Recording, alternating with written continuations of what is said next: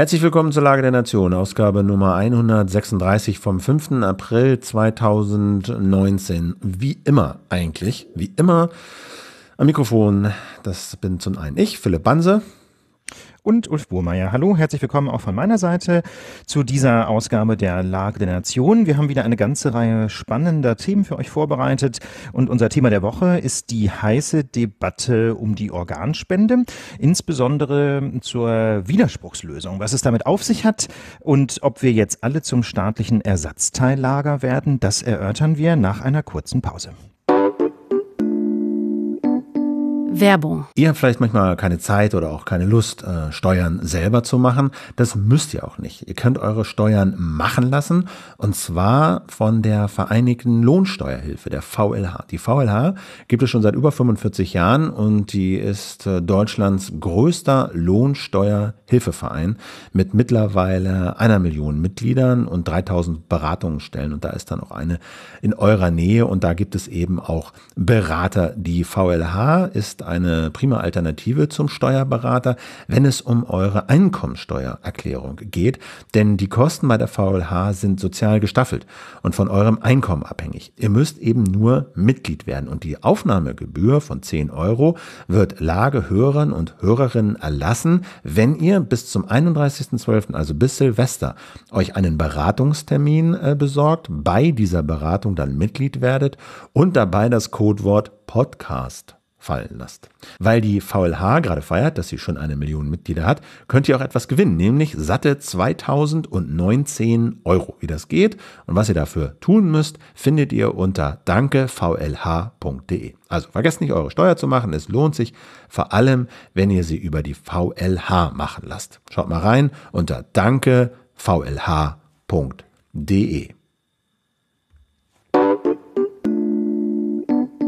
Werbung ja, da sind wir wieder und wir stürzen uns in unser erstes Thema, nämlich die Diskussion um die Rechtslage im Bereich der Organspende. Ähm, wir wollen da versuchen, diese Diskussion mal ein bisschen offen zu führen, denn äh, wir haben das vor einigen Monaten ja bereits einmal angeschnitten, dieses Thema.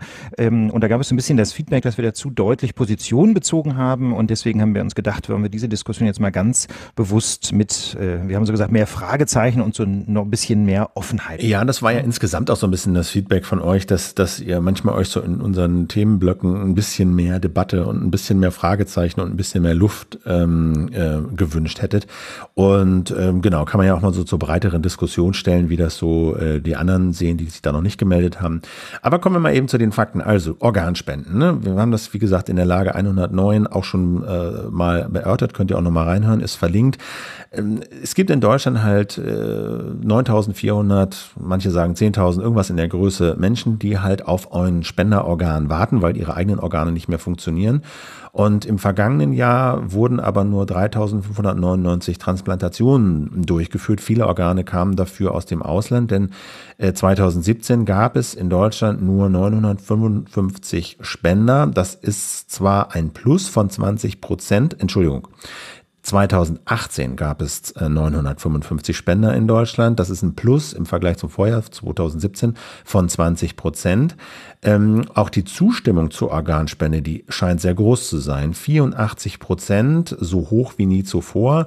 Auch äh, die Menschen, die einen Organspendeausweis haben, die wächst. 2012 waren das noch 22 Prozent, 2018 waren es 36 Prozent. Dennoch Karl Lauterbach und einige andere, also Karl Lauterbach, der Gesundheitsexperte der SPD-Fraktion, der sagt, es sterben jedes Jahr um die 2000 Menschen auf dieser Warteliste, weil sie eben kein Organ bekommen.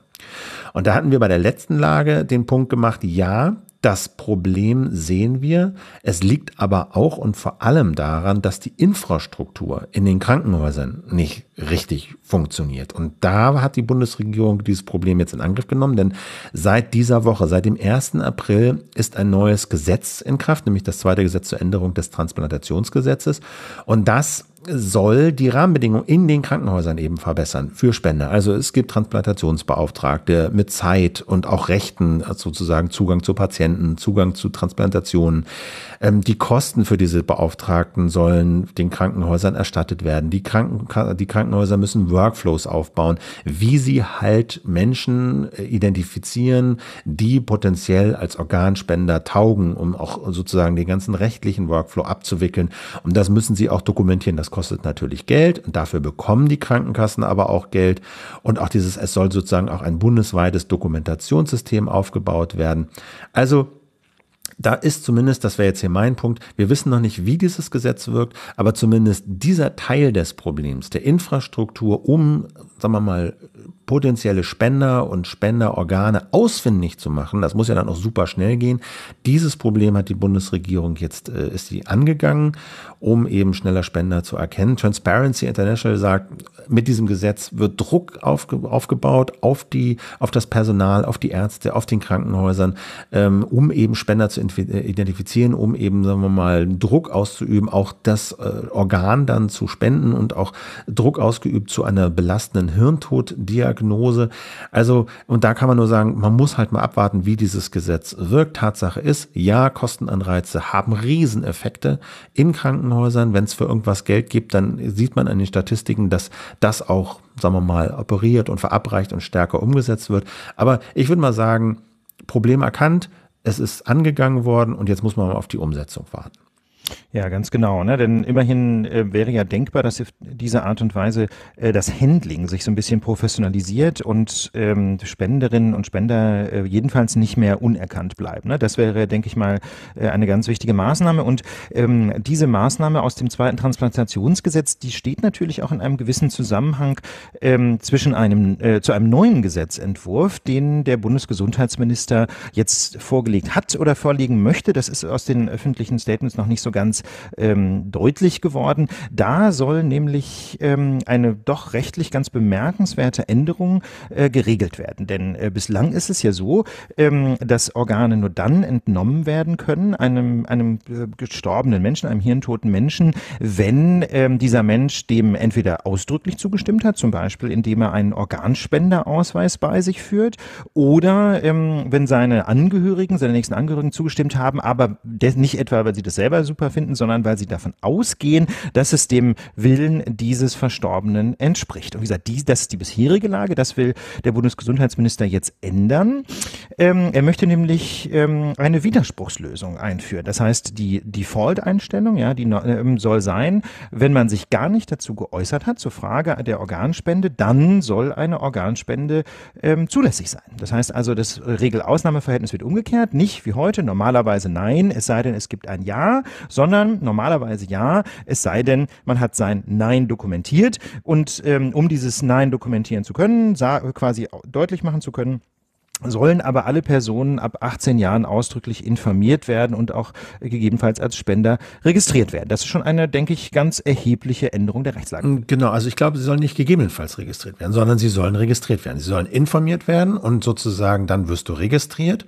Es sei denn, du widersprichst. Ja, also wer zu Lebzeiten Nein sagt, wird eben ähm, kein Organspender. Wenn man schweigt, wird man Organspender. Und dieser Widerspruch, der soll eben in diesem bundesweiten Register auch dokumentiert werden. Und diese Einträge in diesem Register können eben Betroffene selbst erstellen, bearbeiten und eben auch löschen. Ja, um ich dachte nämlich nur, dass nur das Nein wird dokumentiert, oder? Oder soll, soll quasi jeder eingetragen werden äh, mit einem äh, Ja, es sei denn, er sagt was und dann Nein. Das ist, glaube ich, noch nicht so richtig Das deutlich, ist noch nicht richtig deutlich, zumindest wissen wir das nicht. Ähm, ja, aber ich ja. denke, das ist eine Detailfrage. Ähm, du musst widersprechen, wenn du kein Organ spenden willst. Im Zweifel werden die äh, Angehörigen befragt. Aber da geht es auch nicht darum, was der andere Gehörige findet, sondern er muss äh, quasi den Willen des Toten oder der Toten glaubhaft machen. Also er muss irgendwie sagen können oder sie, ja, die hat ihren Willen geändert und äh, die will ihr Organ oder sein Organ nicht spenden. Und deswegen gibt's heißt das Ding doppelte Widerspruchslösung, weil einmal der Betroffene oder die Betroffene selber, jeder selber widersprechen kann, aber eben auch die Angehörigen, wenn sie deinen Willen deutlich machen können. Und Jens Spahn sagt, es gebe eine Verpflichtung, sich mit diesem Thema zu beschäftigen. Und er sagt, ja, das ist ein Eingriff in die Freiheit. Aber, aber dazu steht er quasi. Aber dazu ne? steht er. Das, das ist sozusagen seine Güterabwägung. Dazu können wir auch gleich noch ein bisschen was sagen. Und er sagt auch, die Mehrheit der EU-Länder hat so eine Widerspruchslösung.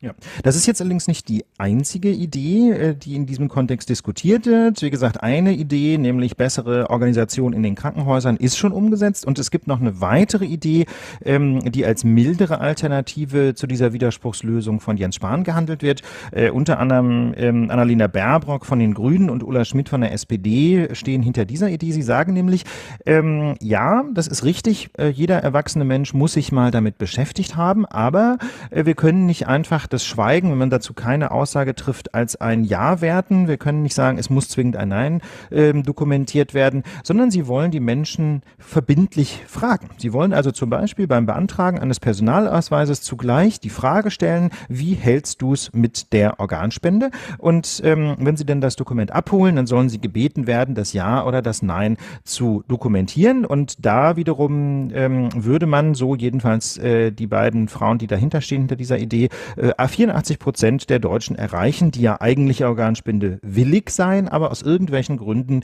diesen eigentlich positiven Willen, dieses Ja, nicht so richtig äh, dokumentieren. Also zum Beispiel, indem sie ihren Angehörigen das nicht sagen ähm, und auch keinen Organspendeausweis bei sich führen. Das gilt natürlich auch für diese andere Lösung. Ne? Die kriegst du, alle Leute, die unentschieden sind und sich nicht kümmern, die kriegst du natürlich auch mit dieser doppelten Widerspruchslösung. Ne? Das auf jeden Fall, aber du hast dann natürlich bei der doppelten Widerspruchslösung halt, muss ja irgendwie mit einer Fiktion arbeiten. Ne? Du arbeitest nämlich mit letztlich mit mit der Fiktion, dass die Leute ja gesagt hätten, ja, es sei denn, sie widersprechen ausdrücklich. Und ähm, da muss man sagen, finde ich, wird die äh, Selbstbestimmung in diesem Vorschlag von Annalena Baerbock und Ulla Schmidt schon etwas höher gehalten, indem man nämlich äh, die Menschen zwar zwingt, sich zu entscheiden, aber dann letztlich eben tatsächlich auf der Basis einer echten Entscheidung und nicht nur letztlich äh, einer Unterstellung arbeitet. Ja. Also, äh, aber das war auch ein bisschen Kritik von euch, als wir das das letzte Mal diskutiert haben. Wir haben nicht über die Frage geredet, was heißt eigentlich Tod? Also, und da gibt's ja im Kern diese zwei Definitionen. Es gibt einmal den Herztod und einmal den Hirntod. Herztod heißt, äh, Herz schlägt nicht mehr. Und das ist aber hier in Deutschland nicht das Kriterium. Es gibt Länder, wo der Herztod das Kriterium ist, um jemandem äh, Organe entnehmen zu können. In Deutschland ist das Kriterium, der Hirntod muss diagnostiziert sein. Und auch nicht nur, glaube ich, von einem Arzt, sondern glaub, von, von, von zwei Ärzten und Ärztinnen äh, muss das diagnostiziert werden. Und äh, der Hirntod besagt eben, es gibt keine Hirnsignale. Das Interessante daran ist aber, dass das Herz noch schlagen kann, oder? Ja, richtig. Das ist ganz interessant. Das Herz kann durchaus noch weiter schlagen, auch wenn sich keine Hirnströme mehr messen lassen. Also man muss zunächst mal wissen, ähm, der, der medizinisch wesentliche Unterschied zwischen, zwischen beiden Todesdefinitionen ist, dass der Herztod ähm, grundsätzlich revisibel ist. Das heißt also, wenn man keinen Puls mehr hat, wenn das Herz nicht schlägt, zum Beispiel äh, wegen eines sogenannten Kammerflimmerns, ja, was so im Prinzip nervöse Zuckungen des Herzens sind, wo aber kein Puls mehr zustande kommt, ähm, das ist revisibel. Das kennen wir wahrscheinlich alle aus irgendwelchen Filmen. Das ist der Kern äh, solcher von, von Reanimation Reanimationen zum Beispiel oder insbesondere von Defibrillationen, ja, diese Elektroschocks, die man manchmal im Film sieht oder in Krankenhausszenen oder so, ähm, der dient im Wesentlichen dazu, ähm, eben so ein Kammerflimmern aufzuheben und das Herz dazu zu bringen, wieder äh, elektrisch in einem bestimmten Takt zu schlagen und damit auch wieder einen Puls zu produzieren. Jetzt mal ganz einfach gesagt, ich hoffe, es ist jetzt kein Mediziner vom Stuhl gefallen, aber das ist, denke ich, im Kern ähm, das, worum es geht. Ähm, das heißt also, wenn man als, äh, als Todesdefinition auf den Stillstand des Herzens abstellt, dann muss man sagen, das ist eigentlich noch ähm, wieder rückgängig zu machen, jedenfalls für ein bestimmtes Zeitfenster. Ja, also irgendwann äh, wird natürlich dann, wenn, wenn ähm, der Kreislauf nicht mehr funktioniert ähm, und kein Sauerstoff mehr ähm, zu den Organen und zum Herzen transportiert wird, irgendwann ist das dann auch nicht mehr revisibel, aber jedenfalls grundsätzlich für ein paar Minuten ähm, kann man einen Herzstillstand noch rückgängig machen. Deswegen ist diese Todesdefinition nicht so ganz eindeutig. Ähm, und das ist bei der Hirntoddefinition anders. Also ein, ein völliger Ausfall der Hirnfunktion ist jedenfalls so, äh, nach bisherigem Stand der medizinischen Wissenschaft nicht so ohne weiteres anderes wieder rückgängig oder gar nicht mehr wieder rückgängig zu machen. Das heißt, das ist tatsächlich eine Einbahnstraße und deswegen eignet sich diese Hirntoddefinition eben besonders gut, um festzustellen, Mensch tatsächlich verstorben ist, aber das führt dann zu diesen, ähm, wie soll ich sagen, etwas irritierenden Situationen, wo jemand ähm, in einem Bett liegt, warm ist, ja, nach allem äußeren Anschein ein lebender Mensch, ähm, der, ähm, der natürlich beatmet werden muss, aber dessen Herz noch schlägt, der aber zugleich keine Hirnfunktion hat und deswegen aus medizinischer Perspektive als tot gilt. Na. Okay, also dann lass uns doch mal überlegen, für welche Variante, für welche Regelung äh, wir jetzt sind. Ich dachte, vielleicht ist, das steht jetzt hier nicht im Skript, aber ich habe äh, mal einen Ton von Jens Spahn rausgesucht, der vielleicht so als Kickoff dafür ganz brauchbar ist. Nämlich, der hat ja. hart, aber fair sich dazu geäußert, was übrigens eine ganz interessante, sachliche, äh, durchaus erkenntnisgetriebene Diskussion war. Wir verlinken die Show mal in den Show Notes. Aber da hat Jens Spahn äh, sich folgendermaßen geäußert. Unser Vorschlag sieht auch vor, dass jeder erstmal, wenn es in Kraft tritt und auch jeder, der dann entsprechend alt wird, dreimal persönlich angeschrieben und informiert wird. Die Rechtslage, wenn Sie sich nicht äußern, ist, Sie gelten als Organspender. Also falls Sie es nicht wollen, bitte äußern. Ähm, und ich finde, es ist die Abwägungsfrage. Kann man das sozusagen erwarten angesichts von 10.000 Menschen, die warten? Angesichts des Umstandes, dass wahrscheinlich die allermeisten jedenfalls, wenn sie selbst in der Situation wären, äh, voller Hoffnung und Verzweiflung auf ein Spendeorgan warten würden ähm, oder für die eigenen Familienangehörigen auch erhoffen würden, dass es das gibt, kann man dann dieses Stück Freiheit einschränken, zu sagen, ich will mich damit nicht beschäftigen. Das ist ja die Freiheitseinschränkung. Zu sagen, du musst dich aber damit beschäftigen, du kannst Nein sagen, gar kein Problem. Aber wenn du nicht Nein sagst, gehen wir davon aus, dass du Organspender bist. Äh, und das ist ein, das bestreite ich gar nicht, ein Stück Eingriff in die Freiheit. Aber ich finde, es ist gerechtfertigt durch diese Situation, die wir ja gerade auch beschrieben bekommen haben äh, und die Folge, die das für die Betroffenen hat, die eben am Ende sonst gar keine Wahl haben. So, also ich finde, da hat er ein paar wichtige Punkte angesprochen. Also er sagt, das eine Argument ist ja, also, dass das ein Eingriff in die, in die, in die, sagen wir mal, individuelle Freiheit und die körperliche Unversehrtheit ist, ist, denke ich, unbestritten. Die Frage ist, ist es gerechtfertigt? Und ich finde, er hat hier zwei wichtige Punkte genannt. A, ähm, so eine Art man könnte sagen, Solidarität, ja, weil wir beide erwarten würden, wenn wir im Krankenhaus liegen und wir brauchen ein Spenderorgan, dann würden wir das, denke ich, nehmen, wenn es uns von den Ärzten angeboten würde. Ist dann daraus die Schlussfolgerung gerechtfertigt, dass wir alle, wenn wir nicht explizit widersprechen, auch selber Spender werden? Was denkst du darüber?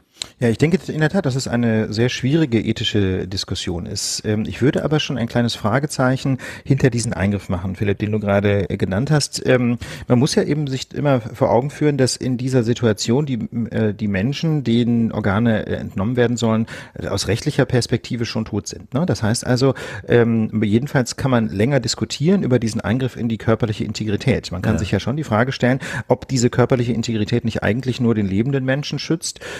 Ich will da jetzt keine ab, abschließende Aber das ist zumindest nicht klar, ja? Also es ist zumindest nicht klar. Es ist zumindest nicht klar und ich habe auch keine klare Aussage zum Beispiel des Bundesverfassungsgerichts dazu gefunden. Was es natürlich gibt, was über den Tod hinausreicht, ist das sogenannte postmortale Persönlichkeitsrecht, ja, also quasi so eine Art äh, sozialer Geltungsanspruch. Ja, deswegen ähm, gibt es ja zum Beispiel auch den Straftatbestand der Leichenschändung. Ja, man kann ja nicht, man kann einfach ähm, nicht äh, mit mit verstorbenen Personen ähm, irgendwie in entehrender Weise umgehen. Ja, wenn ich jetzt irgendwie keine Ahnung in Leichenschauhaus ein einbreche, unter irgendwelchen Schabernack treibe, das, äh, dann mache ich mich möglicherweise auch strafbar unter bestimmten Voraussetzungen. Ja, das heißt also, mh, ein gestorbener Mensch ist jetzt nicht so, nicht, äh, nicht, äh, oder ich glaube, der Straftatbestand heißt äh, offiziell, glaube ich, Störung der Totenruhe. Hab ich sich nachgeguckt, ich meine, so ist es.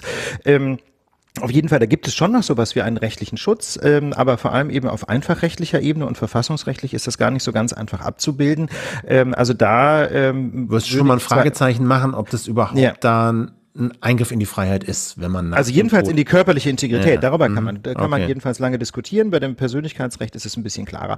Aber jedenfalls äh, muss man deutlich sagen, nach dem Tod des Menschen sind diese grundrechtlich geschützten Positionen ähm, jedenfalls deutlich schwächer. Ja, und äh, denn im Prinzip muss man sagen, stehen grundrechtliche ähm, Abwehrrechte gegen den Staat eben Menschen zu. Und ähm, und, und bei Leichen ist das alles so ein bisschen was anderes. Also ich denke, diesen Unterschied sollte man zumindest benennen. Ich will nicht so weit gehen zu sagen, es gibt da gar keinen äh, abwehrrechtlichen Schutz Schutz gegen staatliche Eingriffe, aber es ist zumindest äh, alles nicht mehr, äh, einfach nicht mehr dasselbe, ob ein Mensch noch lebt oder schon tot ist. Und mhm. dann denke ich, ähm, wenn man sich das vor Augen führt, muss man ähm, auf der anderen Seite sehen, dass der Staat mit dieser Umkehrung des, des Regel-Ausnahmeverhältnisses, ja, im Regelfall ja statt im Regelfall nein, ähm, denke ich, eine, einen wesentlichen Beitrag zum Gemeinwohl leistet. Nicht einfach, weil äh, wir davon ausgehen können, dass dann natürlich mehr Spenderinnen und Spender zur Verfügung stellen werden. Und äh, du hast es eben gerade angesprochen, ne? jeder Spender ist eben auch ein potenzieller Empfänger.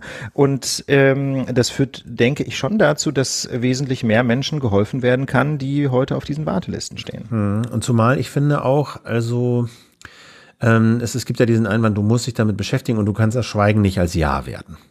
Ja, ja, das ist natürlich ein wesentliches Argument. So, da, wo, wo ja. ich aber sagen würde, ja, das ist, ich meine, ne, schreibt Herbert Prantl auch in der Süddeutschen, das sei ein rechtlich total neues Konstrukt, dass Schweigen als Ja gewährt würde, äh, gewertet wird. Es würde ja auch, das war sein Beispiel, äh, das Haus, was weiß ich, wenn du ein Haus besitzt und du stirbst, das wird ja nicht in die Hände des Staates übergeben, um da Obdachlose zu beherbergen. Äh, ja, aber das ist ein schiefes Beispiel. Ja. Ich finde aber, ich, das ist ein schiefes Beispiel, aber man kann, glaube ich, das rechtliche Problem auch an diesem Prantl-Beispiel sehr schön schön äh, erläutern. Denn wenn man stirbt und äh, ist Eigentümer eines Grundstücks, ja, Häuser kann ja. man nicht besitzen, aber man ist Eigentümer eines Grundstücks und dieses Grundstück kann möglicherweise mit einem Haus bebaut sein, dann ist es ja gerade nicht so, ähm, dass der Staat dann erst groß fragen muss, was du denn wohl gewollt hättest, sondern im Gegenteil, der Staat hat auch in dieser Situation eine Art Default-Lösung äh, für dich gewählt oder für dich geregelt. Nämlich diese Erbenregelung. So. Genau, im bürgerlichen Gesetzbuch gibt es einfach das Konzept des gesetzlichen Erben oder in den meisten Fällen, je nach persönlicher Situation, ist es eben so, dass es mehrere gesetzliche Erben gibt. Das heißt also, es ist gerade nicht so, dass der Staat immer fragen muss, sondern der Staat kann in bestimmten Situationen und muss das wahrscheinlich auch eine bestimmte rechtliche Regelung treffen, was eintreten soll, wenn man sich mit seiner persönlichen Situation nicht beschäftigt. Und an dieser Stelle mal der klare Appell, ähm, es ist, glaube ich, für jeden sinnvoll, sich mal Gedanken zu machen, über welche Rechtslage eigentlich gilt, wenn man stirbt. Ähm, denn die gesetzliche Erbfolge, wie das so schön heißt, ist in den allerseltensten Fällen interessengerecht. Also in den allermeisten Fällen ist es so, dass eine testamentarische Regelung ähm, wesentlich interessengerechter ist, viel mehr das abbildet, was man selber eigentlich wollen würde und vor allem Konflikte zwischen den äh, Hinterbliebenen vermeiden hilft. Ja, und, des, und deswegen an dieser Stelle der deutliche Appell an alle Hörerinnen und Hörer, ähm, die über mehr verfügen als ein Taschengeld, ähm, sich zwei Minuten Gedanken darüber zu machen, wie eigentlich die gesetzliche Erbfolge aussieht und ob das überhaupt das ist, was man will und im Zweifel ein Testament zu machen. Das kann man nämlich einfach selber handschriftlich. Ja, man muss einfach nur ein Blatt Papier nehmen und draufschreiben, mein Testament, Datum, Unterschrift und schreiben, was man gerne geregelt haben möchte. Das dauert nicht lange, aber es hilft äh, im Regelfall einfach dazu, Dinge ja. zu vermeiden, die man nicht will. Also wie gesagt, der Staat muss ohnehin in vielen Situationen Regelungen treffen. Und äh, das tut er eben auch im Erbrecht. Deswegen ist dieses Beispiel, Beispiel von Herbert Prantl ziemlich äh, aus der Luft auf gegriffen. Ich finde auch, also ein weiteres Argument war, man muss sich beschäftigen und das finde ich, also ich finde, das ist zuzumuten. Ich finde, ähm, dass Menschen sich damit beschäftigen, ist äh, zuzumuten, zumal sie sich ja nicht wirklich beschäftigen müssen, sondern sie können ja ihrem Impuls folgen. Ja, sie müssen sich ja nicht recht, sie können, sie können ja. aus dem Bauch raus sagen, ja. nein. Und müssen das auch nicht begründen. Sie müssen sich nicht überlegen, warum und äh, gegenüber einem Beamten oder einer Beamtin irgendwie sagen, ja, aber ich hätte und hm. nein. Du kannst einfach sagen, will ich nicht, will ich nicht, will ich nicht. Und du musst es niemandem erklären. Du sagst einfach Kreuz, will ich nicht, danke. So. Und deswegen würde ich sagen, beschäftigen ist da ein großes Wort. So, ne? Sondern du das kannst, kann man schon verlangen. Irgendwie. Wie ich ja. finde, das kann man, ja. das kann man schon verlangen. Äh, das andere Argument ist, ähm, das teile ich auch nicht so ganz, dass Zwang zu einer Abwehrhaltung führt. Also das hat der Vorsitzende des Deutschen Ethikrats angeführt, das hat auch Annalena Baerbock angeführt. Dieses Argument, dass dieses System der Organspende ohnehin sagen wir mal, in einem schlechten Ruf steht, ja, weil es halt Missbrauch gegeben ja. hat. Ärzte haben ihre Patienten auf diesen Listen hochgesetzt, etc. pp. Und wenn es jetzt auch noch eine Zwangsregelung gäbe, ja. dann äh, würde das System erst recht diskreditiert und, und viele würden Widerspruch einlegen und so. Das überzeugt mich nicht wirklich. Das überzeugt also ich, mich nicht wirklich. Ich finde vor allem, ja, ja, sag mal. Hm. Ja, weil möglicherweise gibt es dann ein paar Leute, die dann sagen, nee, mache ich nicht. Aber viele Leute, denen es egal ist, ja, und die ein, denen es einfach egal ist, und zwar auch so egal, dass sie sich heute keinen Organspendeausweis besorgen, die würde man mit diesem System ins, äh, ins System kriegen, zu Spendern machen. Und wenn es ihnen wirklich egal ist, dann ist es auch umso besser, wenn sie dann ihre Organe den Leuten spenden können, die es gibt. Und wenn dann Leute ja. wirklich sagen, das ist Zwang, ich will das nicht, dann widersprechen sie halt. Gut. Genau, und deswegen war wegen dieser sehr einfachen Lösung oder dieser sehr einfachen Möglichkeit, Nein zu sagen, tue ich mich auch sehr schwer mit dem Wort Zwang. Ja. Ist es wirklich Zwang, wenn der Staat äh, dir nur abverlangt, ein Opt-out zu erklären?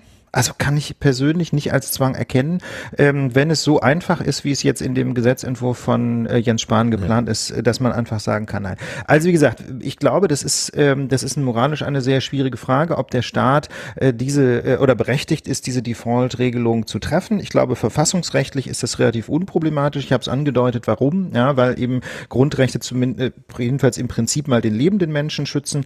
Ähm, insofern ähm, glaube ich, kommt man da verfassungsrechtlich nicht weiter und das ist vielleicht auch ganz gut so, ja. Also ich weiß nicht, das Grundgesetz sollte vielleicht auch solche ethischen Fragen gar nicht abschließend ähm, beantworten. Ich persönlich würde mir vielleicht sogar wünschen, dass da niemand zum Bundesverfassungsgericht rennt. Das ist wahrscheinlich eine, äh, ist wahrscheinlich äh, keine Wunsch, sehr rea ja, ja. frommer Wunsch, keine sehr realistische Vorstellung. Aber ich finde eigentlich, das ist ein klassischer ethischer Konflikt und es ist letztlich glaube ich einfach nicht wahr, dass der im Grundgesetz abschließend entschieden ist. Ich glaube, das ist einfach eine ethische Entscheidung, die tatsächlich die Repräsentantinnen und Repräsentanten des Volkes im Bundestag treffen müssen. Und das Schöne ist ja auch, wenn das zur Abstimmung kommt, dann wird, denke ich, der sogenannte Fraktionszwang aufgehoben. Ja, das heißt also, jeder kann da tatsächlich nach seinem Gewissen äh, abstimmen. Und ich denke, äh, dass äh, da das wird hoffentlich eine Sternstunde des Bundestages. Ne? Es gab ja auch schon viele Situationen, wo der Bundestag sich vielleicht nicht mit Ruhm bekleckert hat, aber das könnte eine Sternstunde werden, wenn da wirklich eine offene Diskussion geführt wird, auch nicht an Parteigrenzen entlang, ähm, ob man diese, diese Default-Einstellung ändern sollte, die, ja oder nein. Die Frage ist halt, ob es nicht eine schonende Alternative gibt in Form dieses ja. Gesetzentwurfs von Baerbock.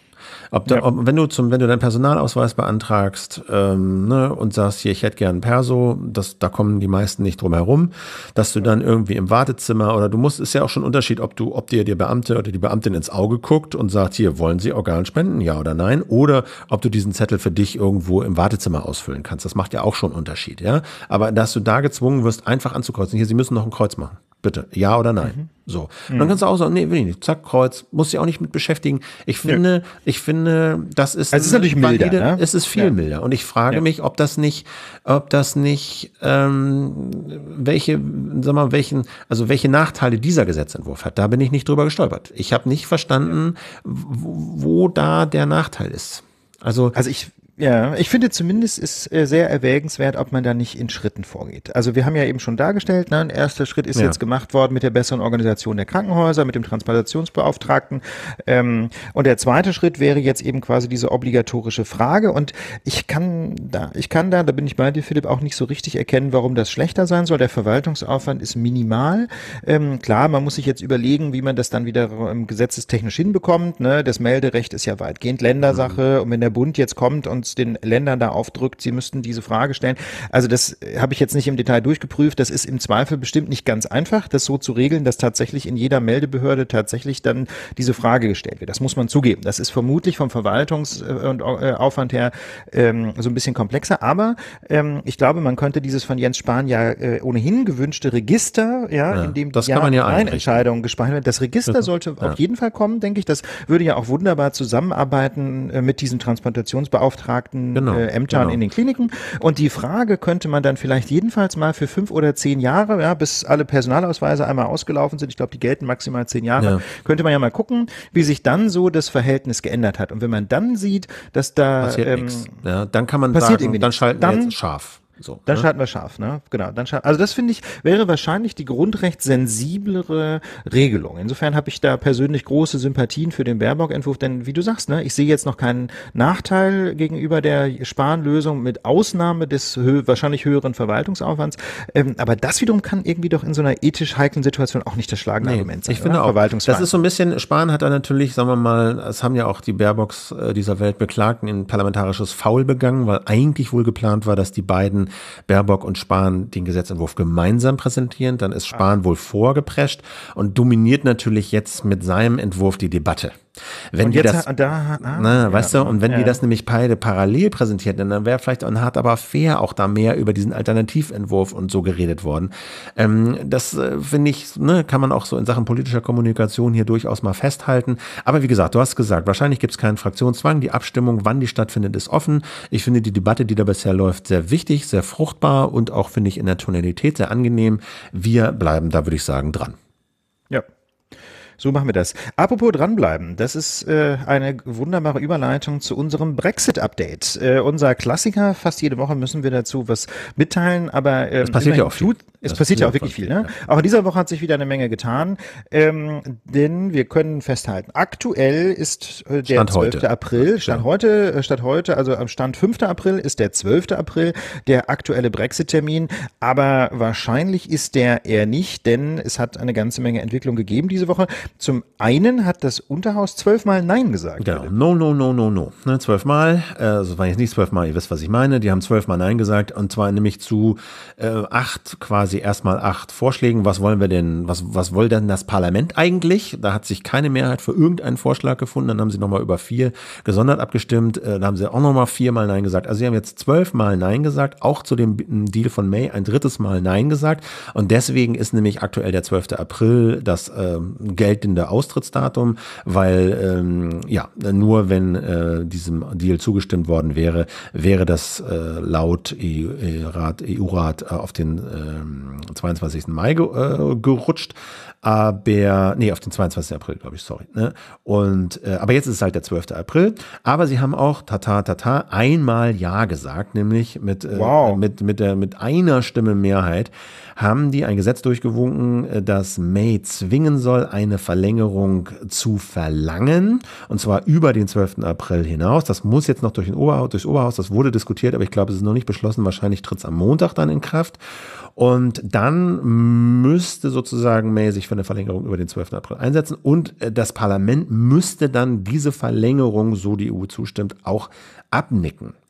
Und ähm, genau. Und jetzt ist es aber so, ähm, dass ähm, quasi die Dinge sich so ein bisschen überschlagen haben. Und jetzt hat nämlich heute May tatsächlich einen Brief geschrieben. An den lieben Donald. An den lieben Donald. Wir haben den, äh, auch den Brief verlinkt. Äh, der, hat, der wurde im Guardian publiziert. Link findet ihr in den Show Notes. Ja. An Und zwar nicht Donald Trump, nee. denn der ist da ausnahmsweise mal nicht der Player, sondern an Donald Tusk. Der genau. ist der EU-Ratspräsident, ne, die aktuelle äh, polnische Ratspräsidentschaft. Nee, polnische, nee, rumänische. Wieso ist er? Ah, nee, er ist einfach so Ratspräsident. Hat mit, ja. mit, mit, mit Polen nichts zu tun. Ähm, Donald Tusk will, oder nee, äh, May will eigentlich gerne verlängern bis Ende Juni. Und die Begründung dafür ist, ich bin doch gerade in Verhandlungen mit meiner Opposition, nämlich mit Jeremy Corbyn insbesondere, dem Vorsitzenden der Labour Party. Und ähm, Theresa May hat noch eine ganze Menge anderer Vorbehalte in ihren Brief eingebaut oder wie soll ich sagen, Fußnoten an ihren Brief dran geklatscht. Ähm, sie sagt nämlich, ihr sei klar, ähm, dass alle Vereinbarungen mit der EU voraussetzen, dass der Deal, der ja schon seit Monaten auf dem Tisch liegt, letztlich ohne Nachverhandlungen angenommen wird. Und ihr ist außerdem klar, dass eine Verlängerung bis zum 30.06. im Prinzip die Teilnahme an den Wahlen zur, äh, zum Europäischen Parlament voraussetzt, wobei sie aber zugleich noch die Hoffnung hat, dass man sich in Großbritannien rechtzeitig auf eine Zustimmung zum Deal einigen kann, sodass die Wahlen wieder abgesagt werden können. Ne? Die Wahlen sollen so ja Ende Mai genau, stattfinden. Das, das ist so, genau. die Wahlen sollen ab dem 23. Mai stattfinden. Sie sagt, vielleicht werden wir ja vorher fertig, wir bereiten die Wahlen vor. Ja, wir würden die Wahlen vorbereiten, sodass wir notfalls daran teilnehmen könnten, aber wir wollen eigentlich vorher fertig werden und sie dann wieder absagen. Und äh, das stimmt, sie ist mit Corbyn in Verhandlungen. Mir ist nicht so ganz klar, wenn denn am Ende eh nur über den Deal abgestimmt wird, was die da jetzt genau verhandeln. Wahrscheinlich irgendwie Absichtsgeschichten, A, wie man den Deal durchkriegen kann, so wie er mehr oder weniger besteht ja. und was dann hinterher passiert, weil das haben wir ja auch schon oft gesagt, dieser Deal ist der Deal, dann ticken halt zwei Jahre, aber es sind wahnsinnig viele Fragen noch offen, die danach verhandelt werden müssten und vielleicht geht's halt bei diesen Verhandlungen zwischen May und Corbyn darum, was machen wir denn eigentlich, wenn wir jetzt den Deal so abnicken, worauf laufen wir denn danach hinaus? Was wollen ja, wir genau. danach? Ne? Das haben wir ja schon ganz oft gesagt. Also wenn man so Deal hört, dann klingt das ja zunächst mal so, als das sei damit dann im Grunde, ne? Genau. ja und vor allem als sei damit dann alles geklärt. Ja. Das Problem ist ja, dass der Deal, ähm, der bislang ausgehandelt worden ist zwischen Großbritannien und dem Rest der EU, im Wesentlichen äh, eine Verschiebung darstellt. Das heißt, der Deal regelt in ganz vielen äh, Rechtsbereichen, es bleibt alles erstmal beim Alten bis Ende 2020 und dann schauen wir mal. Das heißt also, eigentlich würde auch der Deal nur dazu führen, dass der Brexit so ein bisschen herausgeschoben wird und ganz viele Dinge noch offen sind und ganz, ganz, ganz schnell dann geregelt werden müssen, weil natürlich dann Ende 2020 tatsächlich sowas wie eine harte Deadline droht. Das heißt, auch dieser Deal ähm, ist in vielerlei Hinsicht Augenwischerei, aber immerhin könnte es natürlich sein, dass Theresa May mit Jeremy Corbyn darüber reden möchte, was denn die britische Position sein könnte in den notwendig anstehenden Verhandlungen genau. quasi, um diesen Deal abzulösen. Der Deal ist also gerade keine dauerhafte Regelung des Verhältnisses zwischen Großbritannien und der EU, sondern der Deal ist auch nur eine Übergangsregelung. Genau, da könnte, da- es könnte sein, dass die beiden so eine Art Verhandlungsmandat für die dauerhafte Genau. Lösung. Wenn die sich dann einig stimmt. werden, sozusagen, dann stimmen wir dem Deal zu, dann ist es durch, dann sind wir raus und dann haben wir aber einen Plan ausgearbeitet, was denn äh, in diesen Dealverhandlungen äh, danach passieren soll. Was natürlich dann wiederum äh, natürlich auch eine Rechnung ohne den Wirt wäre, ne? weil man ja überhaupt nicht weiß, ob die EU irgendwelche Deals zwischen May und Corbyn wiederum mittragen. Respektiert Also, würde, ne? Ja. also das ist, es bleibt ehrlich gesagt alles ähm, ein, ein, ein, wie soll ich sagen, ein äh, äh, äh, weiter Vorhangeln am Rande der Seriosität. Das muss man schon ehrlich sagen. Ne? Denn niemand kann in London wirklich alleine entscheiden, was passieren soll.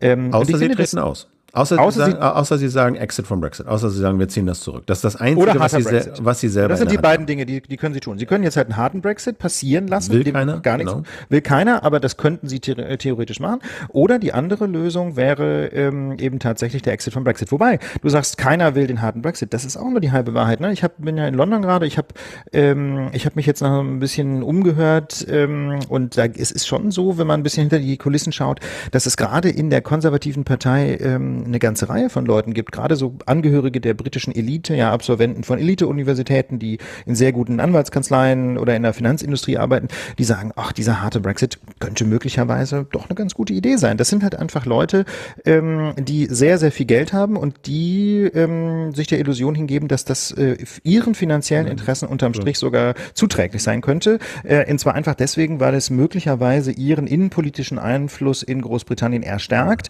wenn eben äh, kein Einfluss auf die britische Politik mehr aus Brüssel genommen wird. Okay. Also das, äh, wir, wir dürfen nicht, wir müssen davon Ja, sein. Es gibt nee. auch gerade in der in der Unterhausfraktion der Ja. Tories gibt es einen harten Leute- Kern von harten Brexiteers. Ja. Genau, aber ich glaube, um ganz ehrlich zu sein, dieser harte Brexit ist etwas unwahrscheinlicher geworden, auch weil Donald Tusk eine Flex Tension ins Spiel gebracht hat. Also das ist im Kern, würde ich sagen, das, was May auch vorgeschlagen hat, nur für eine andere Frist. Also Donald äh, Tusk sagt, wir machen, wir könnten eine Flex Tension vereinbaren nächste Woche, wenn die äh, Staats- und Regierungschefs sich äh, treffen, um eben zu beraten, wie es weitergehen soll.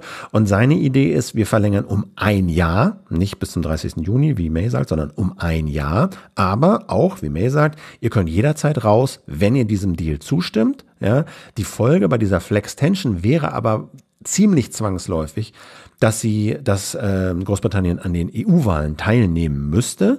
Aber so ist die Vision von Tusk, wenn ihr denn vorher austretet, also vor Ablauf dieses einen Jahres, dann würden auch die britischen Mitglieder des Europaparlaments, die frisch gewählten, das Parlament wieder verlassen und ersetzt werden durch Nachrücker aus anderen Staaten. Ja, das Problem ist, also da wird ja jetzt wirklich frei jongliert. Ja, mit wir stimmen hier zu und wir machen da noch einen Knoten dran und hier noch einen Tag länger und dann ist das im Artikel 50 so vorgesehen? Ja, das ist in der Tat eine ganz spannende Frage. Im Text des Artikels ist natürlich dieser Fall nicht ausdrücklich geregelt. Ähm, der Text des Artikel 50 sieht vor, dass die ähm, EU-Verträge auf den betroffenen Staat, also in diesem Fall Großbritannien, ab dem Tag des Inkrafttretens des Austrittabkommens oder andernfalls zwei Jahre nach der Mitteilung keine Anwendung mehr finden. Das sind so die beiden Normalfälle, ähm, Inkrafttreten eines Austrittabkommens oder zwei Jahre. Ähm, beides ist bislang nicht passiert und dann heißt es weiterhin, es sei denn, der Europäische Rat beschließt im Einvernehmen mit dem betroffenen Mitgliedstaat einstimmig diese Frist zu verlängern. Und jetzt ist die Frage, wenn man jetzt eine Flextension macht für ein Jahr, ähm, geht dann diese Einjahresfrist ähm, beiden Dingen vor, äh, quasi vor, nämlich Inkrafttreten des Austrittsabkommens und den zwei Jahren, oder ähm, bedeutet diese Fristverlängerung nur, dass sie an die Stelle der Zweijahresfrist tritt? Ne? Das ist im Text nicht so richtig klar. Ähm, das heißt also, man kann da auch noch so gewisse Zweifel anmelden, ob das denn tatsächlich äh, quasi nach der Verfassung der EU so einfach möglich ist mit der Flex-Tension. Aber Philipp und ich haben das im Vorfeld schon mal besprochen. Also ich glaube, politisch ist der Fall klar. Ähm, sobald es ein Austrittsabkommen gibt mit einer bestimmten Austrittsfrist, dann würden wahrscheinlich alle Beteiligten davon ausgehen, dass diese Frist auch gilt. Ja, Auch diese Artikel Frist gilt. 50, ja, Artikel 50 hin oder her, oder? Genau, das denke ich auch. Und wenn die sich jetzt einig werden und sagen, wir wollen um ein Jahr verlängern und niemand ist dagegen so richtig, weil die müssen das ja einstimmig beschließen. Ja. ja die Staats- und Regierung. Ja, das ist ja nicht das Problem. Also Das einstimmige Beschließen des Jahres ist nicht das Problem. Das Problem ist eher, ob diese, ob dieses Jahr dann eine harte Frist ist ist, so wie sie eigentlich in Artikel 50 steht, äh, zwar als Zweijahresfrist, so. oder, äh, oder ob diese Flexibilisierung auch ah, funktioniert. Ah, also ob die Flextension wirklich dann auch als Flextension fun funktioniert. funktioniert. Genau. Mm. Das ist die eigentliche Frage. Dass das Ja geht, ist klar. Die Frage ist, ob das Ja dann quasi im Nachhinein wieder abgekürzt okay. werden kann. Aber wahrscheinlich muss man sagen, wenn, wenn sich alle einig sind und ein Austrittsabkommen in Kraft tritt, dann ähm, wird, äh, wird das wahrscheinlich funktionieren. Kann man, sich, kann, man, kann man sich kaum anders vorstellen. Ne? Ja. Also, Aber man ähm, sieht so ein bisschen, die, die EU-Verträge kommen hier an ihre Grenzen. Äh, das kann man nicht anders sagen. Aber auf der anderen Seite finde ich diese Lösung von Donald Tusk vergleichsweise smart. Ähm, klar, dann ist in London weiter ein Jahr Chaos äh, und, äh, und weil Theresa May ja, wie man sieht, keine Autorität mehr hat, ne, weil es im Unterhaus nicht so richtig Mehrheiten gibt. Aber auf der anderen Seite ähm, muss dann nicht quasi im Zwei-Wochen-Takt der Brexit verschoben werden, weißt du? Ja. Insofern finde ich diese Lösung von Donald Tusk eigentlich ziemlich smart, äh, auch wenn sie so ein bisschen Druck vom, von London nimmt, ne? was wiederum ein Nachteil sein kann, weil dieses dann natürlich Monate nicht lang nicht schaffen werden, sich zu einigen, das ist absehbar, aber immerhin muss dann nicht ständig neu der Brexit verschoben werden.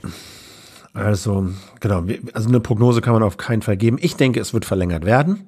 So, also schon, das, ja. das kann ich mir nicht vorstellen, dass am, am Freitag die da austreten. Äh, wenn, wenn schon beide Seiten eine Verlängerung wollen und die Frage nur ist bis zum 30. Juni oder um ein Jahr. Und gerade. Aber da, glaube ich, wage ich jedenfalls keine Voraussage. Nee, nee. Was da von den nee. beiden Varianten kommt, man weiß nee, nicht. Nee, das, das, das, das weiß man wirklich nicht. Ja. Ähm, ja, also wie gesagt, ich glaube, das macht keinen, ist nicht, ist kein, macht keinen Sinn, sich da festzulegen. Ich denke auch, wir sollten einfach an der Stelle, glaube ich, den Brexit-Teil einfach beschließen. Ja. Denn äh, es ist ja auch irgendwie nicht so richtig seriös, wenn wir jetzt versuchen, mehr Klarheit reinzubringen, als einfach ist. Wir können auch nur darstellen, das sind die verschiedenen Optionen, das sind die Stellschrauben, an denen die Akteure drehen können.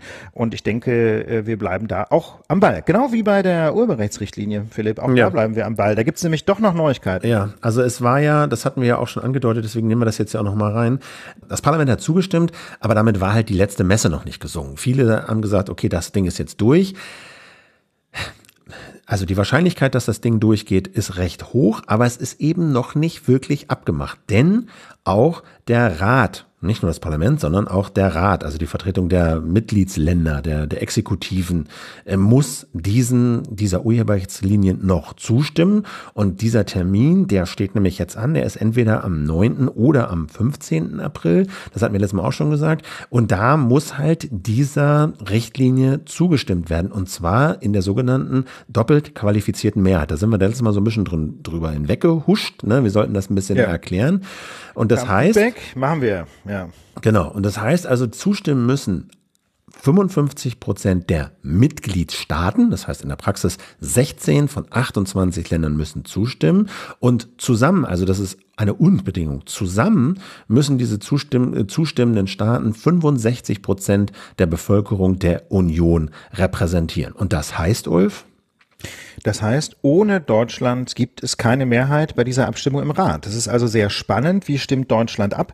Gerade weil bei den anderen Mitgliedstaaten ziemlich klar ist, dass da niemand mehr umfallen wird oder niemand mehr seine Meinung ändern wird. Ähm, bei Deutschland ist das aber gerade die spannende Frage. Ähm, Inhaltlich zuständig wäre Katharina Barley, aber es gibt ähm, jetzt in nächster Zeit keinen Rat der Justizminister. Ähm, das ist auch durchaus üblich, dass Minister abstimmen im Rat ähm, über so Themen, die eigentlich Sachen, nicht in ihr Portfolio ja. gehören, ne? also über fachfremde Sachen.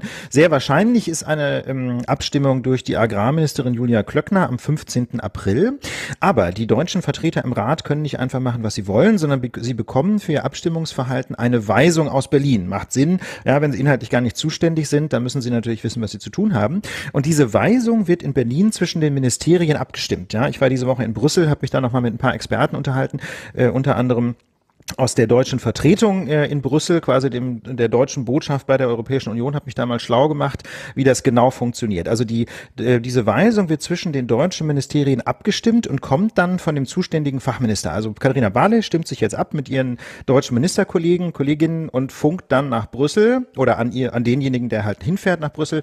So und so soll abgestimmt werden. Und da muss man sich einigen. Das heißt, es gibt da im Prinzip nur ein Ja oder ein Nein. Und wenn man sich nicht einigen kann, gibt es zwei Möglichkeiten. Dann kann das Kanzleramt, Angela Merkel, die Richtlinienkompetenz wahrnehmen und sagen, ist mir wurscht, ihr könnt euch nicht einigen, wir machen das so. Oder es gibt halt keine Weisung. Und wenn es keine Weisung gibt, dann muss sich Deutschland im Rat enthalten. Und Folge einer solchen Enthaltung wäre, bei der doppelt qualifizierten Mehrheit zählt die Enthaltung ähm, als ähm, Enthaltung, aber wenn Deutschland nicht mit Ja stimmt, fehlt die Mehrheit. Mit anderen Worten, wenn es in Berlin einen Dissens gibt zwischen den Ministerien, bedeutet das, dass Deutschland im Ergebnis nicht dafür stimmt, dann fehlt die Mehrheit, dann fällt die Richtlinie durch. Das heißt also im Ergebnis, die SPD-Ministerinnen und Minister Katharina Barley, Hubertus Heil äh, oder auch Frau Giffey können verlangen, dass sich Deutschland im Rat enthält. Das kommt einem Nein gleich, dann wäre die Richtlinie gescheitert. Es sei denn, es sei denn, Merkel sagt, wir stimmen zu. Genau. Das heißt, Merkel könnte die Richtlinienkompetenz ziehen oder Julia Klöckner könnte einfach bei ihrer Abstimmung, die wird wahrscheinlich abstimmen, den Schmidt machen, wie Glyphosat Schmidt vor zwei Jahren und einfach entgegen der Weisung oder der fehlenden Weisung aus Berlin trotzdem zustimmen. Ja, das sind natürlich noch zwei, ähm, zwei Extremlösungen, die die CDU wählen könnte. Aber zunächst mal muss man deutlich sagen, die SPD-Ministerinnen und Minister haben das noch in der Hand. Ja? Haben sehr also großen Einfluss zumindest. Ne? Sie haben ja, sehr großen Einfluss. Ja, sie können zumindest nochmal Position beziehen. Und da, äh, sie, man könnte jetzt also ja eigentlich denken, die haben sich öffentlich kritisch geäußert zur Richtlinie. Es, es steht im Koalitionsvertrag, ja, wir wollen genau. keine Uploadfilter. Und es steht, äh, es hat, gibt außerdem noch einen Beschluss des SPD-Parteirats von vor ein paar Tagen, wo auch nochmal festgelegt wurde, wir wollen keine Uploadfilter.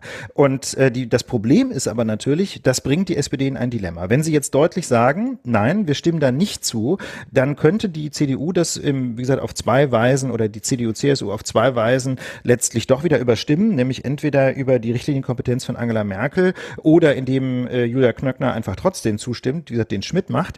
Und dann äh, hat die SPD natürlich natürlich ein, äh, auch ein Problem. Ne? Dann kann sie diesen Koalitionsbruch der Union entweder hinnehmen oder sie muss die GroKo verlassen. Beides keine coolen Optionen. Aber ähm, aus diesen ganzen Gründen ähm, stand so ein bisschen zu befürchten, dass die SPD doch wieder umfällt und letztlich doch für Uploadfilter stimmt. Und genau das ist in diesen Tagen passiert. Katharina Barley hat, wie die Süddeutsche Zeitung am Donnerstag gemeldet hat, den anderen Ministerien vor, zuzustimmen. Die Katharina Barley, die öffentlich immer sagt, nee, Uploadfilter geht ja alles gar nicht, schlägt jetzt vor, lass uns doch einfach zustimmen im Rat. Und äh, die Reaktion des Internet ist völlig klar. Auf Twitter trendet gerade das Hashtag nie wieder SPD, weil natürlich die Beobachterinnen und Beobachter sagen, ja, die SPD macht, was sie immer macht, sie fällt um, wenn es darauf ankommt. Sie sagt nicht nein, äh, wenn es darauf ankommt, obwohl sie öffentlich sagt, sie ist dagegen. Krasse Sache. Ja, fällt einem nicht, zu, nicht mehr viel zu ein. Ja. ich frage mich vor allem, weißt ja. du, Philipp, wie soll, wie soll man als Juso, ja, als Juso du, sich jetzt an den Stand genau. Ich bin ja nicht Juso. Nee, aber wie also soll man als sich Juso, als, genau. Okay, du bist ja. ja Mitglied der SPD, aber nicht Juso, ja. Ja, genau. Wie soll man sich denn jetzt an einen SPD-Wahlkampfstand stellen und sagen, wir haben eine super Spitzenkandidatin Katharina Barley? Wie soll man das machen? Das kann man doch nicht machen, ohne dass man, dass man im selben Moment irgendwie tot Lachen umfällt. ja, genau. Oder das ist, weißt du, da, wie kann man denn bitte seine eigene Partei so demobilisieren? Jetzt sich völlig, völlig wurscht, ja, was man inhaltlich von dieser Richtlinie hält. Man kann doch nicht die durchboxen. Man kann doch diese Richtlinie nicht gegen die ganze eigene Partei durchboxen und zugleich wollen, dass diese Partei für einen in den Wahlkampf zieht. Das ist die krasseste Demobilisierung, die ich, die ich seit langem erlebt habe in einem laufenden Wahlkampf. Ja. Katharina Barley sagt doch ihren eigenen Parteifreunden durch die Blume, also ich will eigentlich auch nicht gewählt werden. Macht mal keinen Wahlkampf für mich. Wie kann man so gaga sein? ist mir nicht klar. Plus äh, die Desavouierung des äh, demokratischen Systems.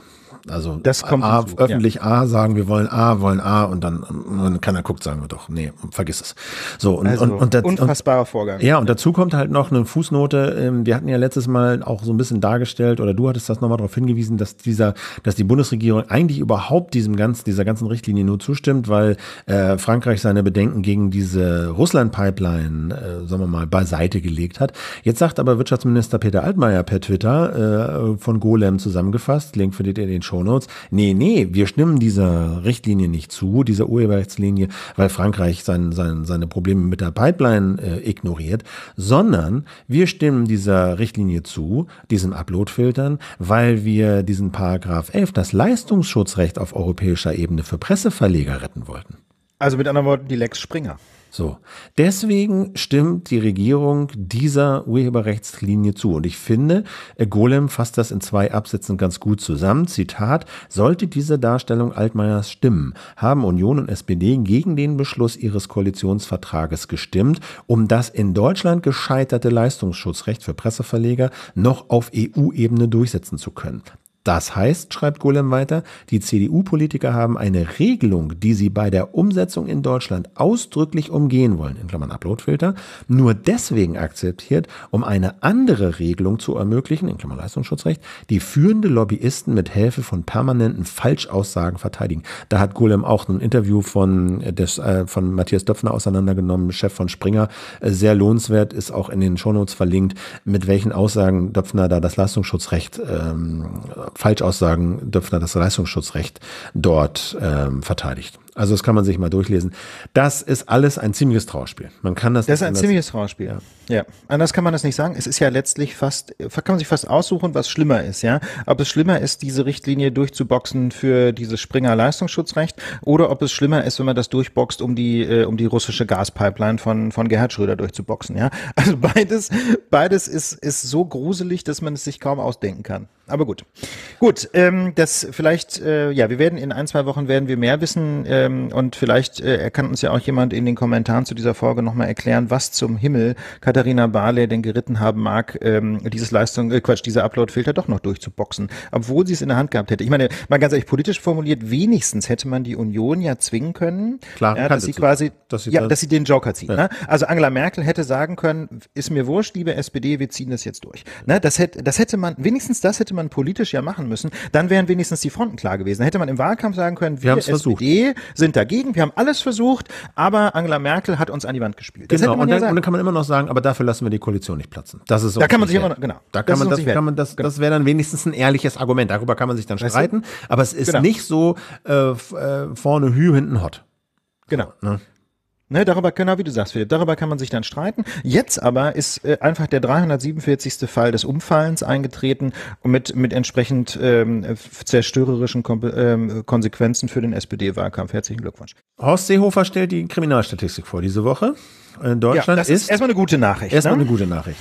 Von Horst Seehofer haben wir schon länger nichts mehr gehört. Deutschland ist statistisch, muss man sagen, nach dieser Statistik so sicher wie nie. Es gab 5,5 Millionen Straftaten. Das ist ein Minus von 3,6 Prozent im Vergleich zum Vorjahr. Ulf, ich sage statistisch so sicher wie nie.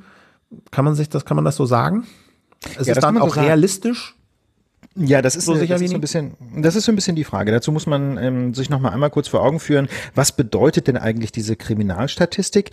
Das ist die Statistik der angezeigten Straftaten. Das heißt, die Polizei führt im Grunde eine Statistik, welche Strafanzeigen hat sie aufgenommen. Das ist also nicht identisch mit der Zahl der tatsächlich begangenen Straftaten. Das kann man nämlich nie wissen, wie viele Straftaten wirklich begangen wurden. Und es ist auch nicht identisch mit der Zahl der Taten, die dann tatsächlich von Strafgerichten abgeurteilt wurden. Da gibt es noch mal eine eigene Statistik, die führt das Bundesjustizministerium. Ja?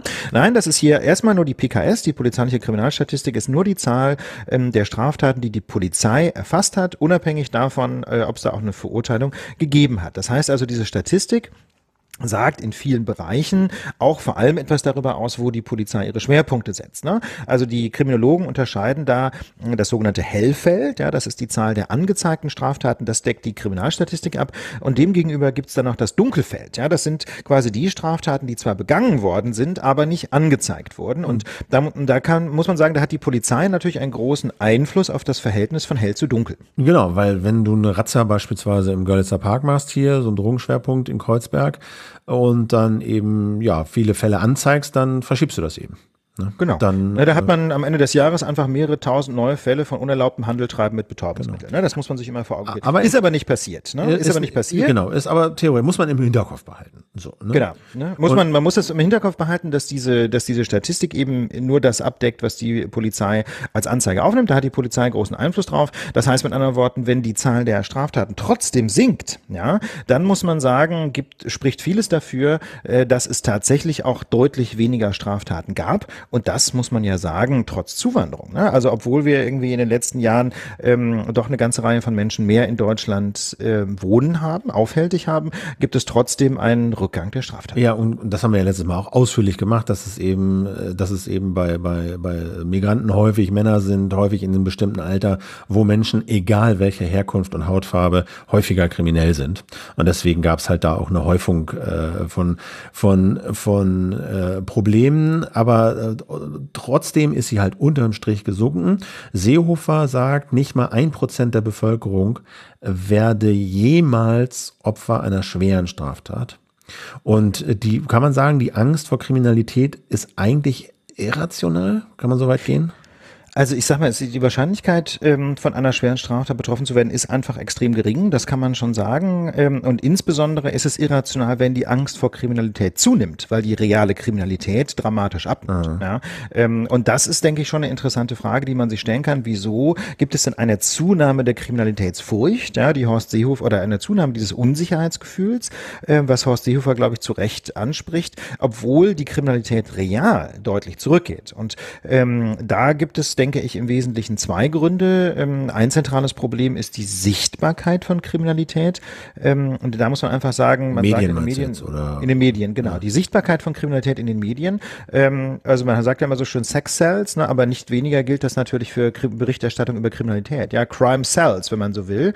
Ja, große Boulevardmedien berichten ständig von gruseligen Gewalttaten. Und wenn man das nur häufig genug liest, dann hat man irgendwann das Gefühl, oh la la, das scheint ja wohl wirklich ein Problem zu sein, auch wenn die Zahlen sinken Linken erwecken die Medien, äh, gerade bestimmte Medien, sehr häufig den Eindruck, als wenn wir irgendwie von, vor einer Welle von Kriminalität stünden. Und besonders deutlich macht das natürlich äh, die AfD und andere fremdenfeindliche Gruppen, die reiten eben auf einer Welle der Angst vor Straftaten von Menschen mit Migrationshintergrund. Ne? Ja, weil, weil halt auch Angst, ne, Angst äh, schürt sozusagen den Impuls nach einfachen Lösungen, nach schnellen Lösungen. Da muss jetzt mal was getan werden, das geht jetzt so nicht weiter und so. Und da kommen dann natürlich in diese Lücke, ähm, springen dann natürlich Populisten, weil weil es eben häufig keine seriös vermittelbaren, einfachen, schnellen Lösungen gibt.